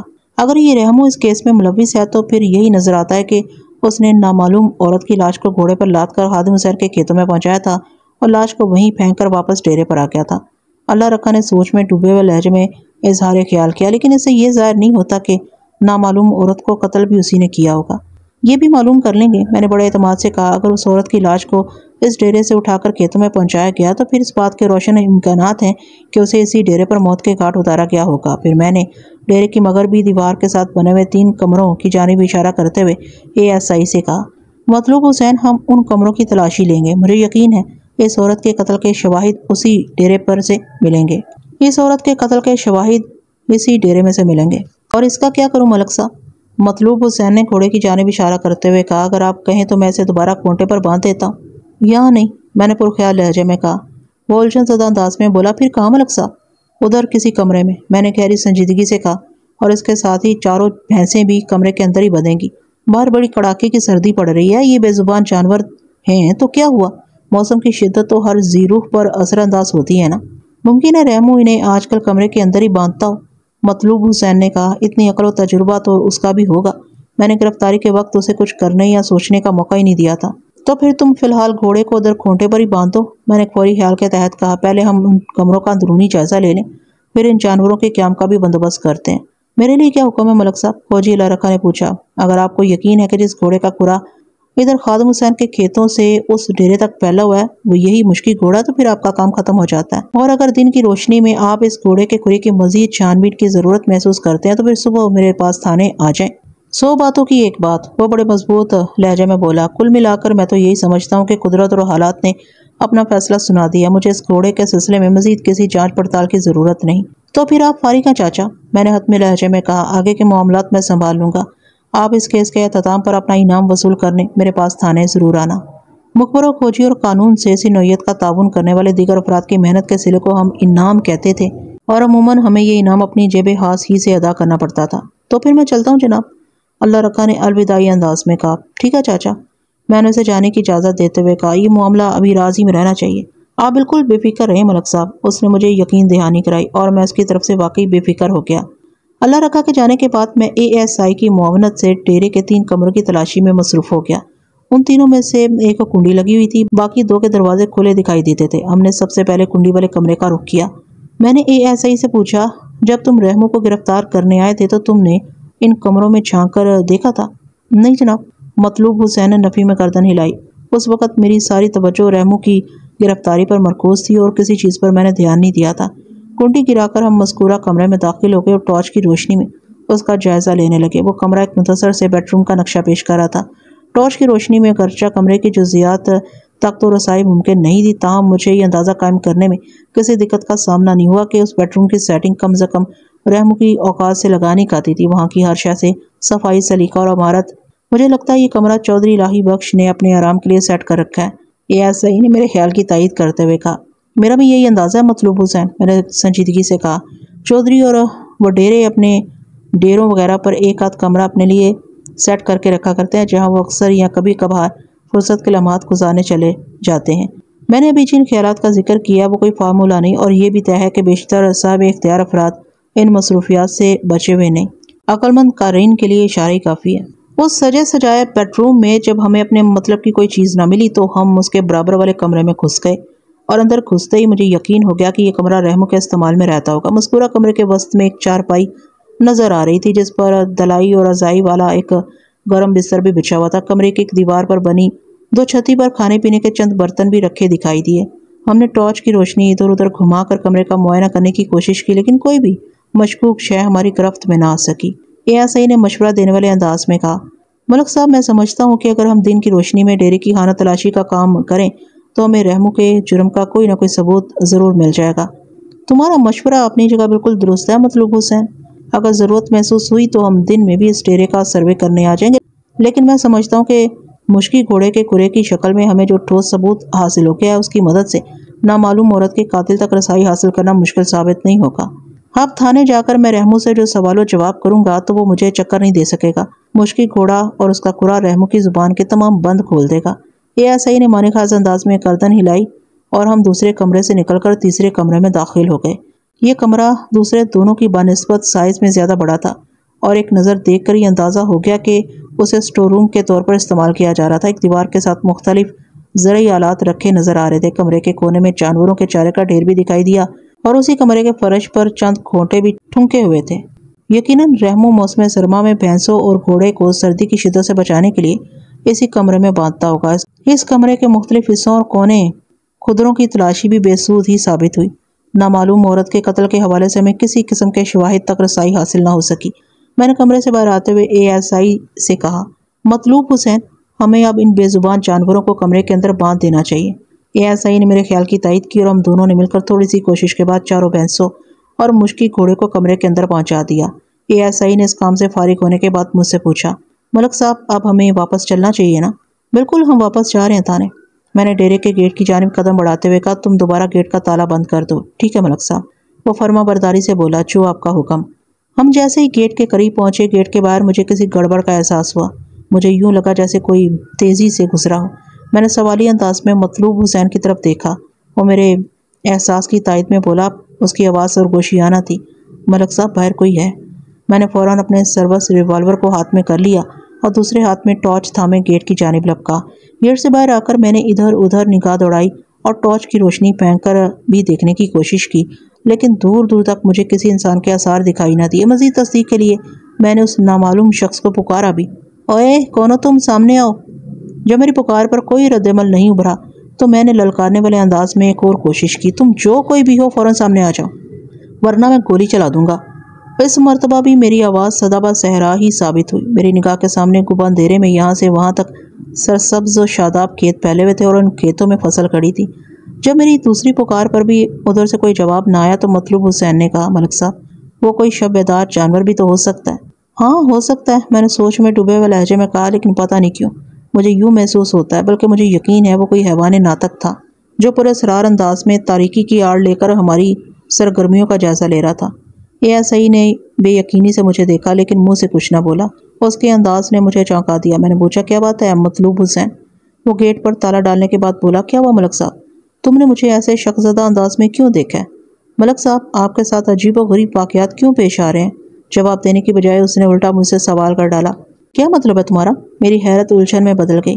اس وقت رات کے دس بج رہے ہیں۔ وہ سرسراتی آواز میں بولا، تو پھر میں نے اسے بات مکمل نہ کرنے دی دس بج رہے ہیں تو کیا ہوا؟ پچھلی رات اسی وقت آپ نے اپنے کوارٹر کے دروازے پر ایک پرسرار دستک سنی تھی۔ وہ گہری سنجیدگی سے وضاحت کرتے ہوئے بولا، اور ابھی آپ کو یقین ہے کہ کوئی چھپ کر ہماری سرگرمی کا جائزہ لے رہا تھا؟ ہم جیسے ہی گیٹ کی طرف بڑھے، وہ یہاں سے بھاگ گیا تو کیا تم نے ادھر کسی کی موجودگی محسوس نہیں کی تھی؟ میں نے دائیں بائیں گردن گھما کر اے ایس آئی سے سوال کیا تھا۔ محسوس کی تھی۔ وہ ایک ایک لفظ پر زور دیتے ہوئے بولا، لیکن میری سوچ میں اس بات کی گنجائش موجود ہے کہ وہ کسی انسان کی بجائے کوئی جانور بھی تو ہو سکتا ہے۔ جیسا کہ رات والی دستک کے بارے میں میرا خیال ہے کہ وہ تیز ہواؤں کا نتیجہ ہوگی، لیکن آپ کو تو یقین ہے کہ رات کو بھی آپ کے کوارٹر کے دروازے پر کسی انسان نہیں دستک دی تھی اور اب بھی کوئی انسان ہی ہماری طاق میں تھا۔ میرے دماغ میں ایسی پختہ سوچ کیوں ہے؟ اس کا جواب میں فی الحال نہیں دے سکتا۔ میں نے جان چھڑانے والے انداز میں کہا، دیکھتے ہیں حالات و قدرت کیا رنگ دکھاتے ہیں۔ میں نے اللہ رکھا کے تقیہ کلام کو غیر ارادی طور پر استعمال کیا تو اے ایس آئی نے چونک کر مجھے دیکھا۔ پھر زیر مسکراتے ہوئے بولا، کل ملا کر معاملہ یہ ہوا کہ اب ہمیں واپس تانے جانا ہے۔ مطلوب حسین نے سو باتوں کی ایک بات کہی تھی، لہٰذا ہم چودھری الہی بخش کے ڈیرے سے واپس آ گئے۔ میں ایک مرتبہ پھر رحمو سے سوال و جواب کر رہا تھا۔ اسے اپنے کمرے میں بلانے سے پہلے میں نے حوالدار رجب علی سے اس کی رپورٹ لے لی تھی۔ حوالدار نے مجھے بتایا تھا کہ رحمو نے اس نامعلوم عورت کے قتل کا اقرار نہیں کیا۔ وہ ایسے کسی، وہ ایسے کسی واقعے سے اپنی ناواقفیت کا اظہار کر رہا تھا۔ ملک صاحب، آپ نے سختی سے منع کر دیا تھا نا؟ حوالدار نے رپورٹ کے اختتام پر کہا، اس لیے میں نے ابھی تک زبانی پوچھ گچھ ہی کی ہے اور بندہ کسی طرح چھری کے نیچے نہیں آ رہا۔ ٹھیک ہے، تم رحمو کو میرے پاس لے آؤ۔ میں نے کچھ سوچتے ہوئے کہا تھا، لگتا ہے اس کی گردن پر مجھے ہی چھری پھیرنا پڑے گی۔ پھر حوالدار رجب علی ایک منٹ سے بھی پہلے رحمو کو لے کر میرے پاس آ گیا تھا۔ میں نے رجب علی کو واپس جانے کا اشارہ کیا۔ جب وہ کمرے سے نکل گیا تو میں رحمو کی جانب متوجہ ہو گیا۔ وہ گردن چکائے ہاں نڈھال کھڑا تھا۔ رحمو میں نے کھمبیر انداز میں سے مخاطب کیا، ابھی تک اگر تمہارے ساتھ کوئی سختی نہیں کی گئی تو اسے پولیس کی کوئی کمزوری مت سمجھنا۔ میں تمہیں آخری موقع دے رہا ہوں سچ بولنے کا۔ اب یہ تمہاری مرضی ہے کہ اس موقع سے فائدہ اٹھاؤ یا پھر کڑی تفتیش سے گزرنے کے لیے تیار ہو جاؤ۔ تھانے دار صاحب، آپ کو میری بات کا یقین کیوں نہیں آتا؟ وہ فریادی لہجے میں بولا، جو سچ تھا وہ میں نے آپ کو بتا دی ہے۔ میں نے کسی عورت کو قتل نہیں کیا، جناب۔ ایک سچ تم نے مجھے بتایا اور دوسرا سچ میری تفتیش کے نتیجے میں سامنے آیا میں نے اس کی آنکھوں میں دیکھتے ہوئے کہا، اور ان دونوں سچائیوں میں کوئی تال میل نظر نہیں آتا۔ اب ایک ہی بات ہو سکتی ہے رحمو۔ یا تو تم غلط بیانی سے کام لے رہے ہو یا پھر میری تفتیش غلط ہے۔ میں نے صبح سے اب تک چھک ماری ہے۔ مجھے تھانے داری چھوڑ کر آلو چھولے کی ریڑھی لگا لینا چاہیے۔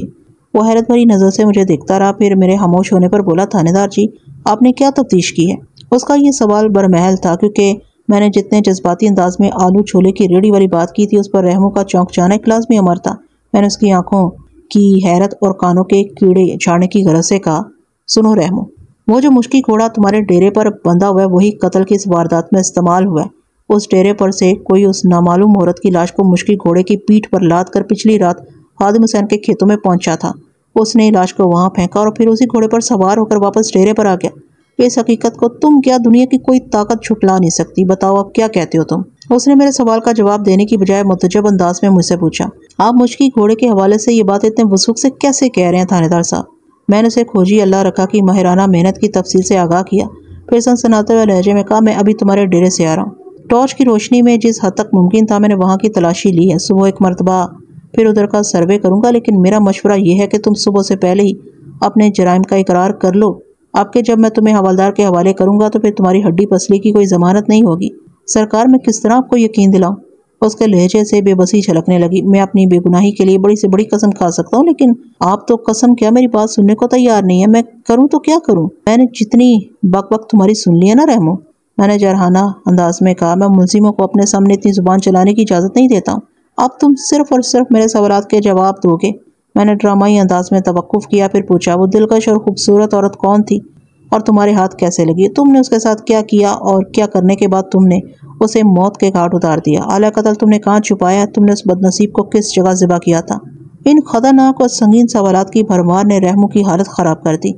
اس کے چہرے پر موت کی زردی کھنڈ گئی اور ایک لمحے کے لیے مجھے یوں محسوس ہوا کہ ڈھائی من کی وہ زندہ لاش دھواں دھار انداز میں رو پڑے گی، مگر اگلے ہی لمحے اس کے چہرے کے تاثرات تبدیل ہونے لگے۔ یہ تبدیلی میرے لیے حیرت انگیز تھی۔ ڈر، خوف اور سراسیمگی کی جگہ اعتماد، سکون اور اطمینان نے لے لی اور مجھے یوں محسوس ہوا کہ وہ کسی ختمی فیصلے پر پہنچ گیا تھا۔ یہ فیصلہ میری تھیوری کی تائید اور تصدیق بھی ہو سکتا تھا۔ پھر جب وہ گویا ہوا تو اس کا دماغ کسی کتاب کی مانت کھل گیا۔ تھانے دار صاحب وہ بڑی توانا آواز میں بولا، میں نے منت سماجت کر کے رو کر گڑ گڑا کر اور بڑی بڑی قسمیں کھا کر آپ کو اپنی بے گناہی کا یقین دلانے کی کوشش کر لی ہے۔ لیکن آپ کسی بھی قیمت پر مجھے بے قصور سمجھنے کو تیار نہیں ہے اس لیے اب میں اپنی صفائی میں ایک لفظ بھی نہیں کہوں گا، کیونکہ کیونکہ میں نے اپنا معاملہ خدا پر چھوڑ دیا ہے۔ وہ خدا یہ جانتا ہے کہ میں نے کسی عورت کو قتل نہیں کیا۔ آپ اس نکردہ جرم میں مجھے پھانسی بھی لگوا دیں گے، تو میں اف تک نہیں کروں گا۔ پھر میرا خدا خود ہی آپ سے پوچھ لے گا کہ، اے ملک صفدر حیات، کیا میں نے تمہیں اس لیے تھانے دار بنایا تھا کہ تم بگناہوں کو نکردہ جرائم کی پاداش میں کال کوٹری میں سڑاتے رہو اور انہیں تختے پر لٹکاتے رہو؟ رحمو نے نہایت سنجیدگی کے ساتھ اتنی بڑی بات کہہ دی تھی کہ میں اندر سے ہل کر رہ گیا۔ کسی قاتل اور زانی شخص سے ایسی بردباری اور خدا سپردگی کی توقع نہیں کی جا سکتی تھی۔ ان لمحات میں وہ مجھے بہت ہی معصوم اور بے گناہ نظر آیا۔ اور پھر میرے ذہن میں تیز روشنی کا ایک چھماکا ہوا اور بالکل مختلف انداز میں اسے پوچھ گچھ کرنے لگا۔ تمہارے بے گناہ یا گنہ گار ہونے کا فیصلہ تو صبح تک ہو ہی جائے گا۔ میں نے اس کی آنکھوں میں دیکھتے ہوئے کہا، فی الحال تم مجھے یہ بتاؤ کہ کل رات میں کسی نے وہ مشکل گھوڑا تم سے استعمال کرنے کے لیے لیا تھا؟ نہیں جناب، اس بات کو تو سوال ہی پیدا نہیں ہوتا۔ وہ بڑی قطعیت سے نفی میں گردن ہلاتے ہوئے بولا، یہ گھوڑا صرف چودھری صاحب کے استعمال میں رہتا ہے جناب۔ مجھے تو یہ فکر کھائی جا رہی ہے کہ گھوڑا ابھی تک کھلے میں بندھا ہوا ہے۔ اگر اسے ٹھنڈ لگ گئی تو چودھری صاحب میری کھال کھچوا ڈالیں گے۔ آپ کے آدمی نے اتنی افراتفری میں مجھے گرفتار کر کے تھانے پہنچایا کہ میں جانوروں کی طرف دھیان ہی نہیں دے سکا۔ ان جانوروں کے لیے تم خود کو فکر میں نہ ڈالو رحمو۔ میں نے بدستور اس کے چہرے کے تاثرات کا جائزہ لیتے ہوئے کہا، میں نے چاروں بھینسوں اور مشکی گھوڑے کو ایک کمرے کے اندر باندھ دیا ہے۔ وہ کمرہ جہاں چارے کا ڈھیر اور چند زرعی آلات رکھے ہوئے ہیں۔ اللہ کا بھلا کرے تھانے دار صاحب۔ وہ ایک آسودہ سانس ہارش کرتے ہوئے بولا، آپ نے تو میری بہت بڑی مشکل ٹال دی ہے۔ جو شخص قتل کے الزام میں زیر تفتیش ہو اور اپنے معاملے کو خدا کے حوالے کر کے مطمئن ہو گیا ہو، وہ چودھری کے غز و غضب سے بچ جانے کے لیے دل کی جن گہرائیوں سے میرا شکریہ ادا کر رہا تھا، اس نے مجھے یقین دلا دیا کہ رحمو ملزم نہیں ہو سکتا۔ میں نے قدر نرمی کا مظاہرہ کرتے ہوئے کہا رحمو اللہ تمہارا بھی بھلا کرے گا اگر تم میرے ساتھ تعاون کرتے رہو گے۔ جی آپ حکم کریں، میں تو ہر قسم کے تعاون کے لیے تیار ہوں۔ تو تمہیں پکا یقین ہے کہ وقوع کی رات کسی نے تم سے مشکل گھوڑا نہیں لیا تھا میں نے ٹھہرے ہوئے لہجے میں اس افسار کیا۔ اور نہ ہی تم اس گھوڑے کو ڈیرے سے باہر لے کر گئے تھے۔ بالکل نہیں جناب، وہ پورے تیاکن سے بولا۔ جب میں رات کو سونے کے لیے لیٹ آتا تو میں نے چاروں بھینسوں اور مشکی گھوڑے کو چارے والے کمرے کے اندر باندھ دیا تھا۔ اور آج جب میں کافی دیر سے سو کر اٹھا تو وہ گھوڑا کمرے کے اندر اپنے کھونٹے پر چونکا توں بندھا ہوا تھا۔ کیا ایسا ہو سکتا ہے کہ تمہاری غیر معمولی گہری نیند کے دوران میں کوئی ڈیرے کے اندر داخل ہوا ہو؟ میں نے ٹٹولنے والے انداز میں پوچھا، وہ مشکی گھوڑے کو گھنٹے آدھے گھنٹے کے لیے ڈیرے سے نکال لے گیا ہو اور پھر تمہاری بے خبری ہی میں اس نے گھوڑے کو لا کر واپس کمرے میں باندھ دیا۔ ہو ایسا کبھی ہوا تو نہیں جناب؟ وہ بے یقینی سے مجھے دیکھتے ہوئے بولا، میں سلسلے میں کیا کہہ سکتا ہوں؟ مجھے جو پتا تھا وہ میں نے آپ کو بتا دیا ہے۔ کل شام میں ڈیرے پر تمہارے علاوہ اور کون تھا؟ میں تھا اور بدری تھا۔ اس نے جواب دیا، بدری کون؟ میں نے چونک، میں چونک اٹھا۔ اس کا نام تو بدر الدین ہے جی لیکن بچپن ہی سے وہ بدری مشہور ہے، جیسے تم رحمو مشہور ہو۔ جی ہاں۔ یہ بدری تمہارے ڈیرے پر کیا لینے آیا تھا؟ میں نے تیز لہجے میں پوچھا۔ جناب، وہ بھی میرے ساتھ ڈیرے پر ہوتا ہے؟ وہ انکشاف انگیز لہجے میں بولا۔ میری طرح وہ بھی چودھری صاحب کا ملازم ہے، پر پر کیا رحمو میں نے فوراً اس کی بات کاٹ دی۔ جناب، بدری کی ڈیوٹی صبح سے شام تک ہوتی ہے۔ وہ وضاحت کرتے ہوئے بولا، جبکہ میں رات کو بھی ڈیرے پر ہی رہتا ہوں۔ بدری کے ذمے کس نوعیت کے کام ہے وہ زیادہ تر جانوروں کی دیکھ بھال کرتا ہے جی۔ رحمو نے بتایا، خصوصاً چودھری صاحب نے اسے گھوڑے کی دیکھ بھال کے لیے رکھا ہوا ہے۔ وقوع کی رات جب بدری ڈیرے سے رخصت ہوا تو کیا گھوڑا ڈیرے پر ہی موجود تھا؟ میں نے پہلے پوچھے ہوئے سوال کو دوسرے انداز میں میں نے پہلے پوچھے ہوئے سوال کو دوسرے انداز سے کہا۔ اس نے اس بات میں جواب دیا اور بتانے لگا، اس رات بدری میرے لیے رات کا کھانا لے کر آیا تھا۔ اس کے جانے کے بعد میں نے کھانا کھایا اور مزے سے سو گیا۔ ان لمحات میں میرا ذہن بڑی تیز رفتاری سے کام کر رہا تھا۔ میں نے سنسنی خیز لہجے میں کہا، اور پھر تم دوسری صبح یعنی آج صبح خلاف معمول بہت دیر تک سوتے رہے تھے ہے نا؟ جی بالکل ایسے ہی ہوا تھا، اس نے جواب دیا۔ کہ آج صبح بدری ٹھیک وقت پر ڈیرے نہیں پہنچا تھا میں نے جاننا چاہا، اس کی ڈیوٹی تو صبح سے شام تک ہوتی ہے نا؟ اگر وہ آج صبح وقت پر آ جاتا تو پھر میرے دیر تک سونے کا سوال ہی پیدا نہیں ہوتا تھا، جناب۔ رحمو نے بڑا معقول جواب دیا۔ وہ مجھے جگا دیتا۔ وہ کتنے بجے ڈیرے پر پہنچا تھا؟ دوپہر کے بعد۔ اس تاخیر کا اس نے کیا سبب بتایا تھا؟ میں نے پوچھا تو کہنے لگا کہ رات کو ڈیرے سے جانے کے بعد اسے ٹھنڈ لگ گئی تھی۔ رحمو نے جواب دیا اور وہ پوری رات بخار میں پھکتا رہا۔ صبح وقت پر ڈیرے پر آنے کی ہمت نہیں ہوئی، اس لیے دوپہر کو وہ گھر سے نکلا تھا۔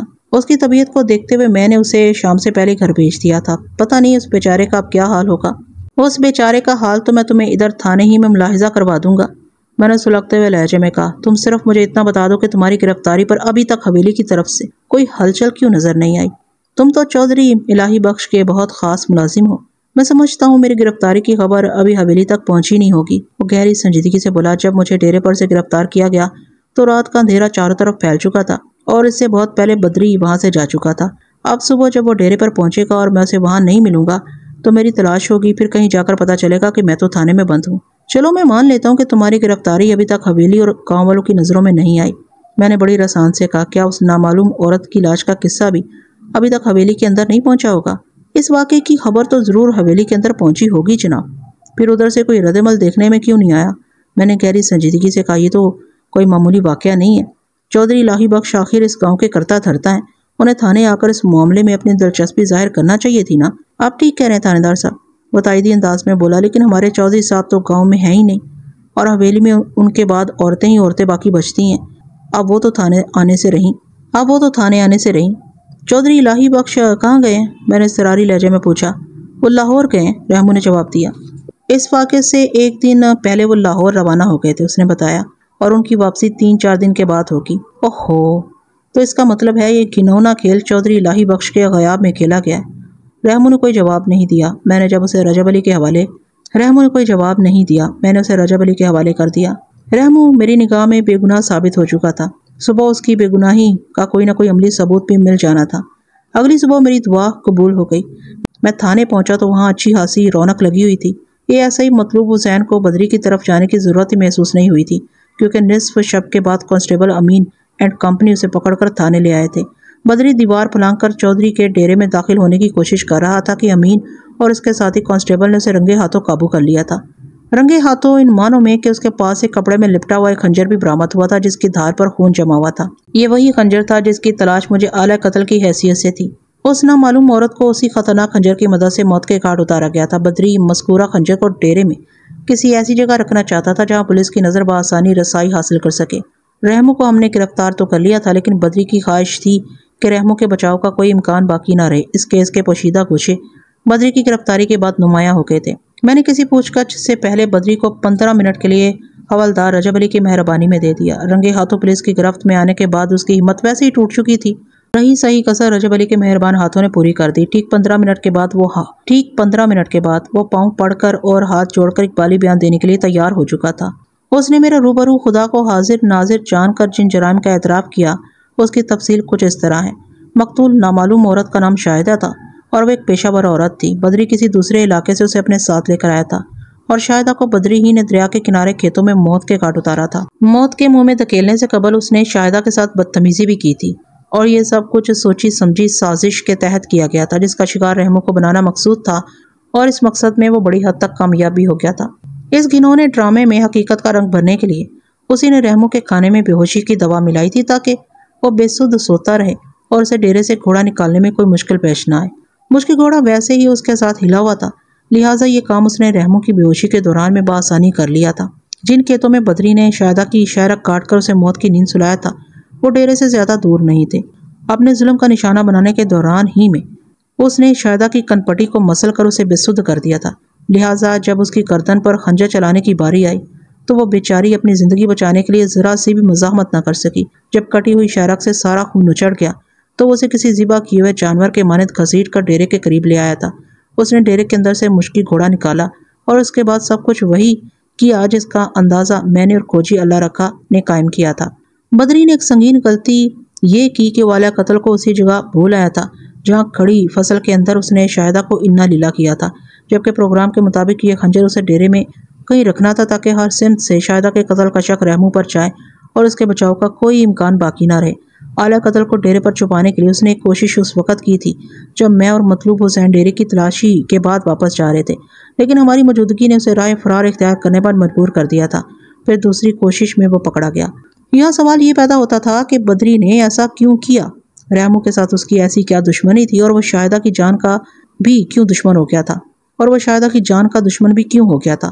ان نہایت ہی اہم سوالات کا بھی بدری نے جواب دیا۔ وہ جواب بڑا انکشاف انگیز تھا۔ جی ہاں بدری نے یہ سب کچھ رحمو سے کسی ذاتی رنجش کی بنا پر نہیں کیا تھا، بلکہ اس کام کے لیے اسے چودھری الہی بخش نے احکامات صادر کیے تھے اور ان معاملات کو سگائے راز میں رکھنے کی تلقین بھی کی تھی، لیکن ان نہایت ہی اہم سوالات کا بھی بدری نے جواب دیا اور وہ جواب بڑا انکشاف انگیز تھا۔ جی ہاں بدری نے یہ سب کچھ رحمو سے کسی ذاتی رنجش کی بنا پر نہیں کیا تھا، بلکہ اس کام کے لیے اسے چودھری الہی بخش نے احکامات صادر کیے تھے اور ان معاملات کو سگائے راز میں رکھنے کی تلقین بھی کی تھی، لیکن پولیس کے حرکت میں آ جانے سے کوئی راز راز نہیں رہا تھا۔ بدری کے اعترافی بیان کے مطابق رحمو نے کچھ زیادہ ہی ہاتھ پاؤں پھیلا لیے تھے۔ وہ چودھری کی عیاشیوں میں برابر کا شریک تھا، جس کے لیے ڈیرے کا وہی کمرہ استعمال کیا جاتا تھا جو بیڈ روم کی طرز پر سیٹ کیا گیا تھا۔ چودھری اپنے دسترخوان کا بچا بچایا مال اسے بھی کھانے کو دے دیا کرتا تھا۔ اس طرح دونوں کی گاڑی بڑی ہوش اسلوبی سے چل رہی تھی۔ اسی دوران میں چودھری الہی بخش پر یہ سنسنی خیز انکشاف ہوا۔ کہ رحمو بڑی خاموشی کے ساتھ اس کی حویلی کی ایک عورت پر بھی ہاتھ صاف کر رہا ہے۔ وہ بڑی آزادی سے حویلی کے اندر آتا جاتا تھا، لہٰذا اس کام کے لیے اسے کوئی مشکل نہ ہوئی تھی۔ رحمو کی اس گستاحی نے چودھری کے تن بدن میں آگ بھر دی۔ ان تعلقات کی تصدیق ہو جانے پر چودھری نے رحمو کو عبرت ناک سزا دینے کا منصوبہ بنا لیا۔ چودھری اگر چاہتا تو خود اپنے ہاتھوں سے یا کسی بھی شخص سے کہہ کر رحمو کو ٹھکانے لگوا سکتا تھا، لیکن اس موقع پر اس نے ایک تیر سے دو شکار کرنے کا فیصلہ کیا۔ شاید انامی اس پیشہ ور عورت سے بھی چودھری کو بہت سی شکایات تھیں اور وہ اسے بھی بدترین سزا دینے کا خواہاں تھا۔ لہٰذا اس نے شاہدہ اور رحمو کو نتھی کر کے ایک پیکج سا بنا دیا تھا۔ اس کیس کی تمام گتھیاں پوسٹ مارٹم کی رپورٹ آنے سے پہلے کھل چکی تھی میں نے ایک لمحے کی دیر نہ کی اور بدری کے بعد چودھری الہی بخش کو بھی لاہور سے گرفتار کر کے حوالات کی صلاحوں کے پیچھے پہنچا دیا۔ وہ اپنی ذات کو ہر شک و شبے سے بالاتر ثابت کرنے کے لیے وقوع سے ایک روز پہلی منظر سے غائب ہو گیا تھا، لیکن بدری کی حماقت اسے لے ڈوبی۔ بدری نے جو کچھ بھی کیا تھا، وہ چودھری الہی بخش کے حکم کا نتیجہ تھا۔ قانون کی نظر میں وہ دونوں جیسے مجرم تھے، لہٰذا میں نے ان کے خلاف بڑا مضبوط چالان بنا کر انہیں عدالت کے حوالے کر دیا۔ بدری اور اس کا پردہ نشینہ کا عدالت سے لمبی سزا پا کر جیل کی سنگلہ دیواروں کے پیچھے چلے گئے اور رحم دین عرف رحمو نے ہمیشہ کے لیے اس گناہ سے توبہ کر لی جس کے سبب وہ اس مصیبت میں گرفتار ہوا تھا۔ یہ فیصلہ اس قدرت کی جانب سے آیا تھا جس کی عدالت عالیہ میں اس نے اپنا کیس دائر کیا تھا۔ ناظرین، امید کرتی ہوں کہ یہ کہانی بھی آپ کو کافی مزیدار لگی ہوگی۔ میں وقتاً فوقتاً مرزا امجد بیگ صاحب کی کہانیاں بھی آپ کے لیے لاتی رہوں گی۔ مرزا امجد بیگ اور صفدر حیات ایک ہی سکے کے دو پہلو ہیں۔ تو ان کی کہانیوں کو بھی لازمی سے سنا کریں کہ وہ کس طریقے سے اپنے کلائنٹ کو موت کے چنگل سے نکال کر لے آتے تھے۔ کہ آدمی کی عقل حیران ہوتی ہے؟ مجھے اجازت دیجیے ایسی کسی اور اچھی سی کہانی تک کے لیے اللہ حافظ۔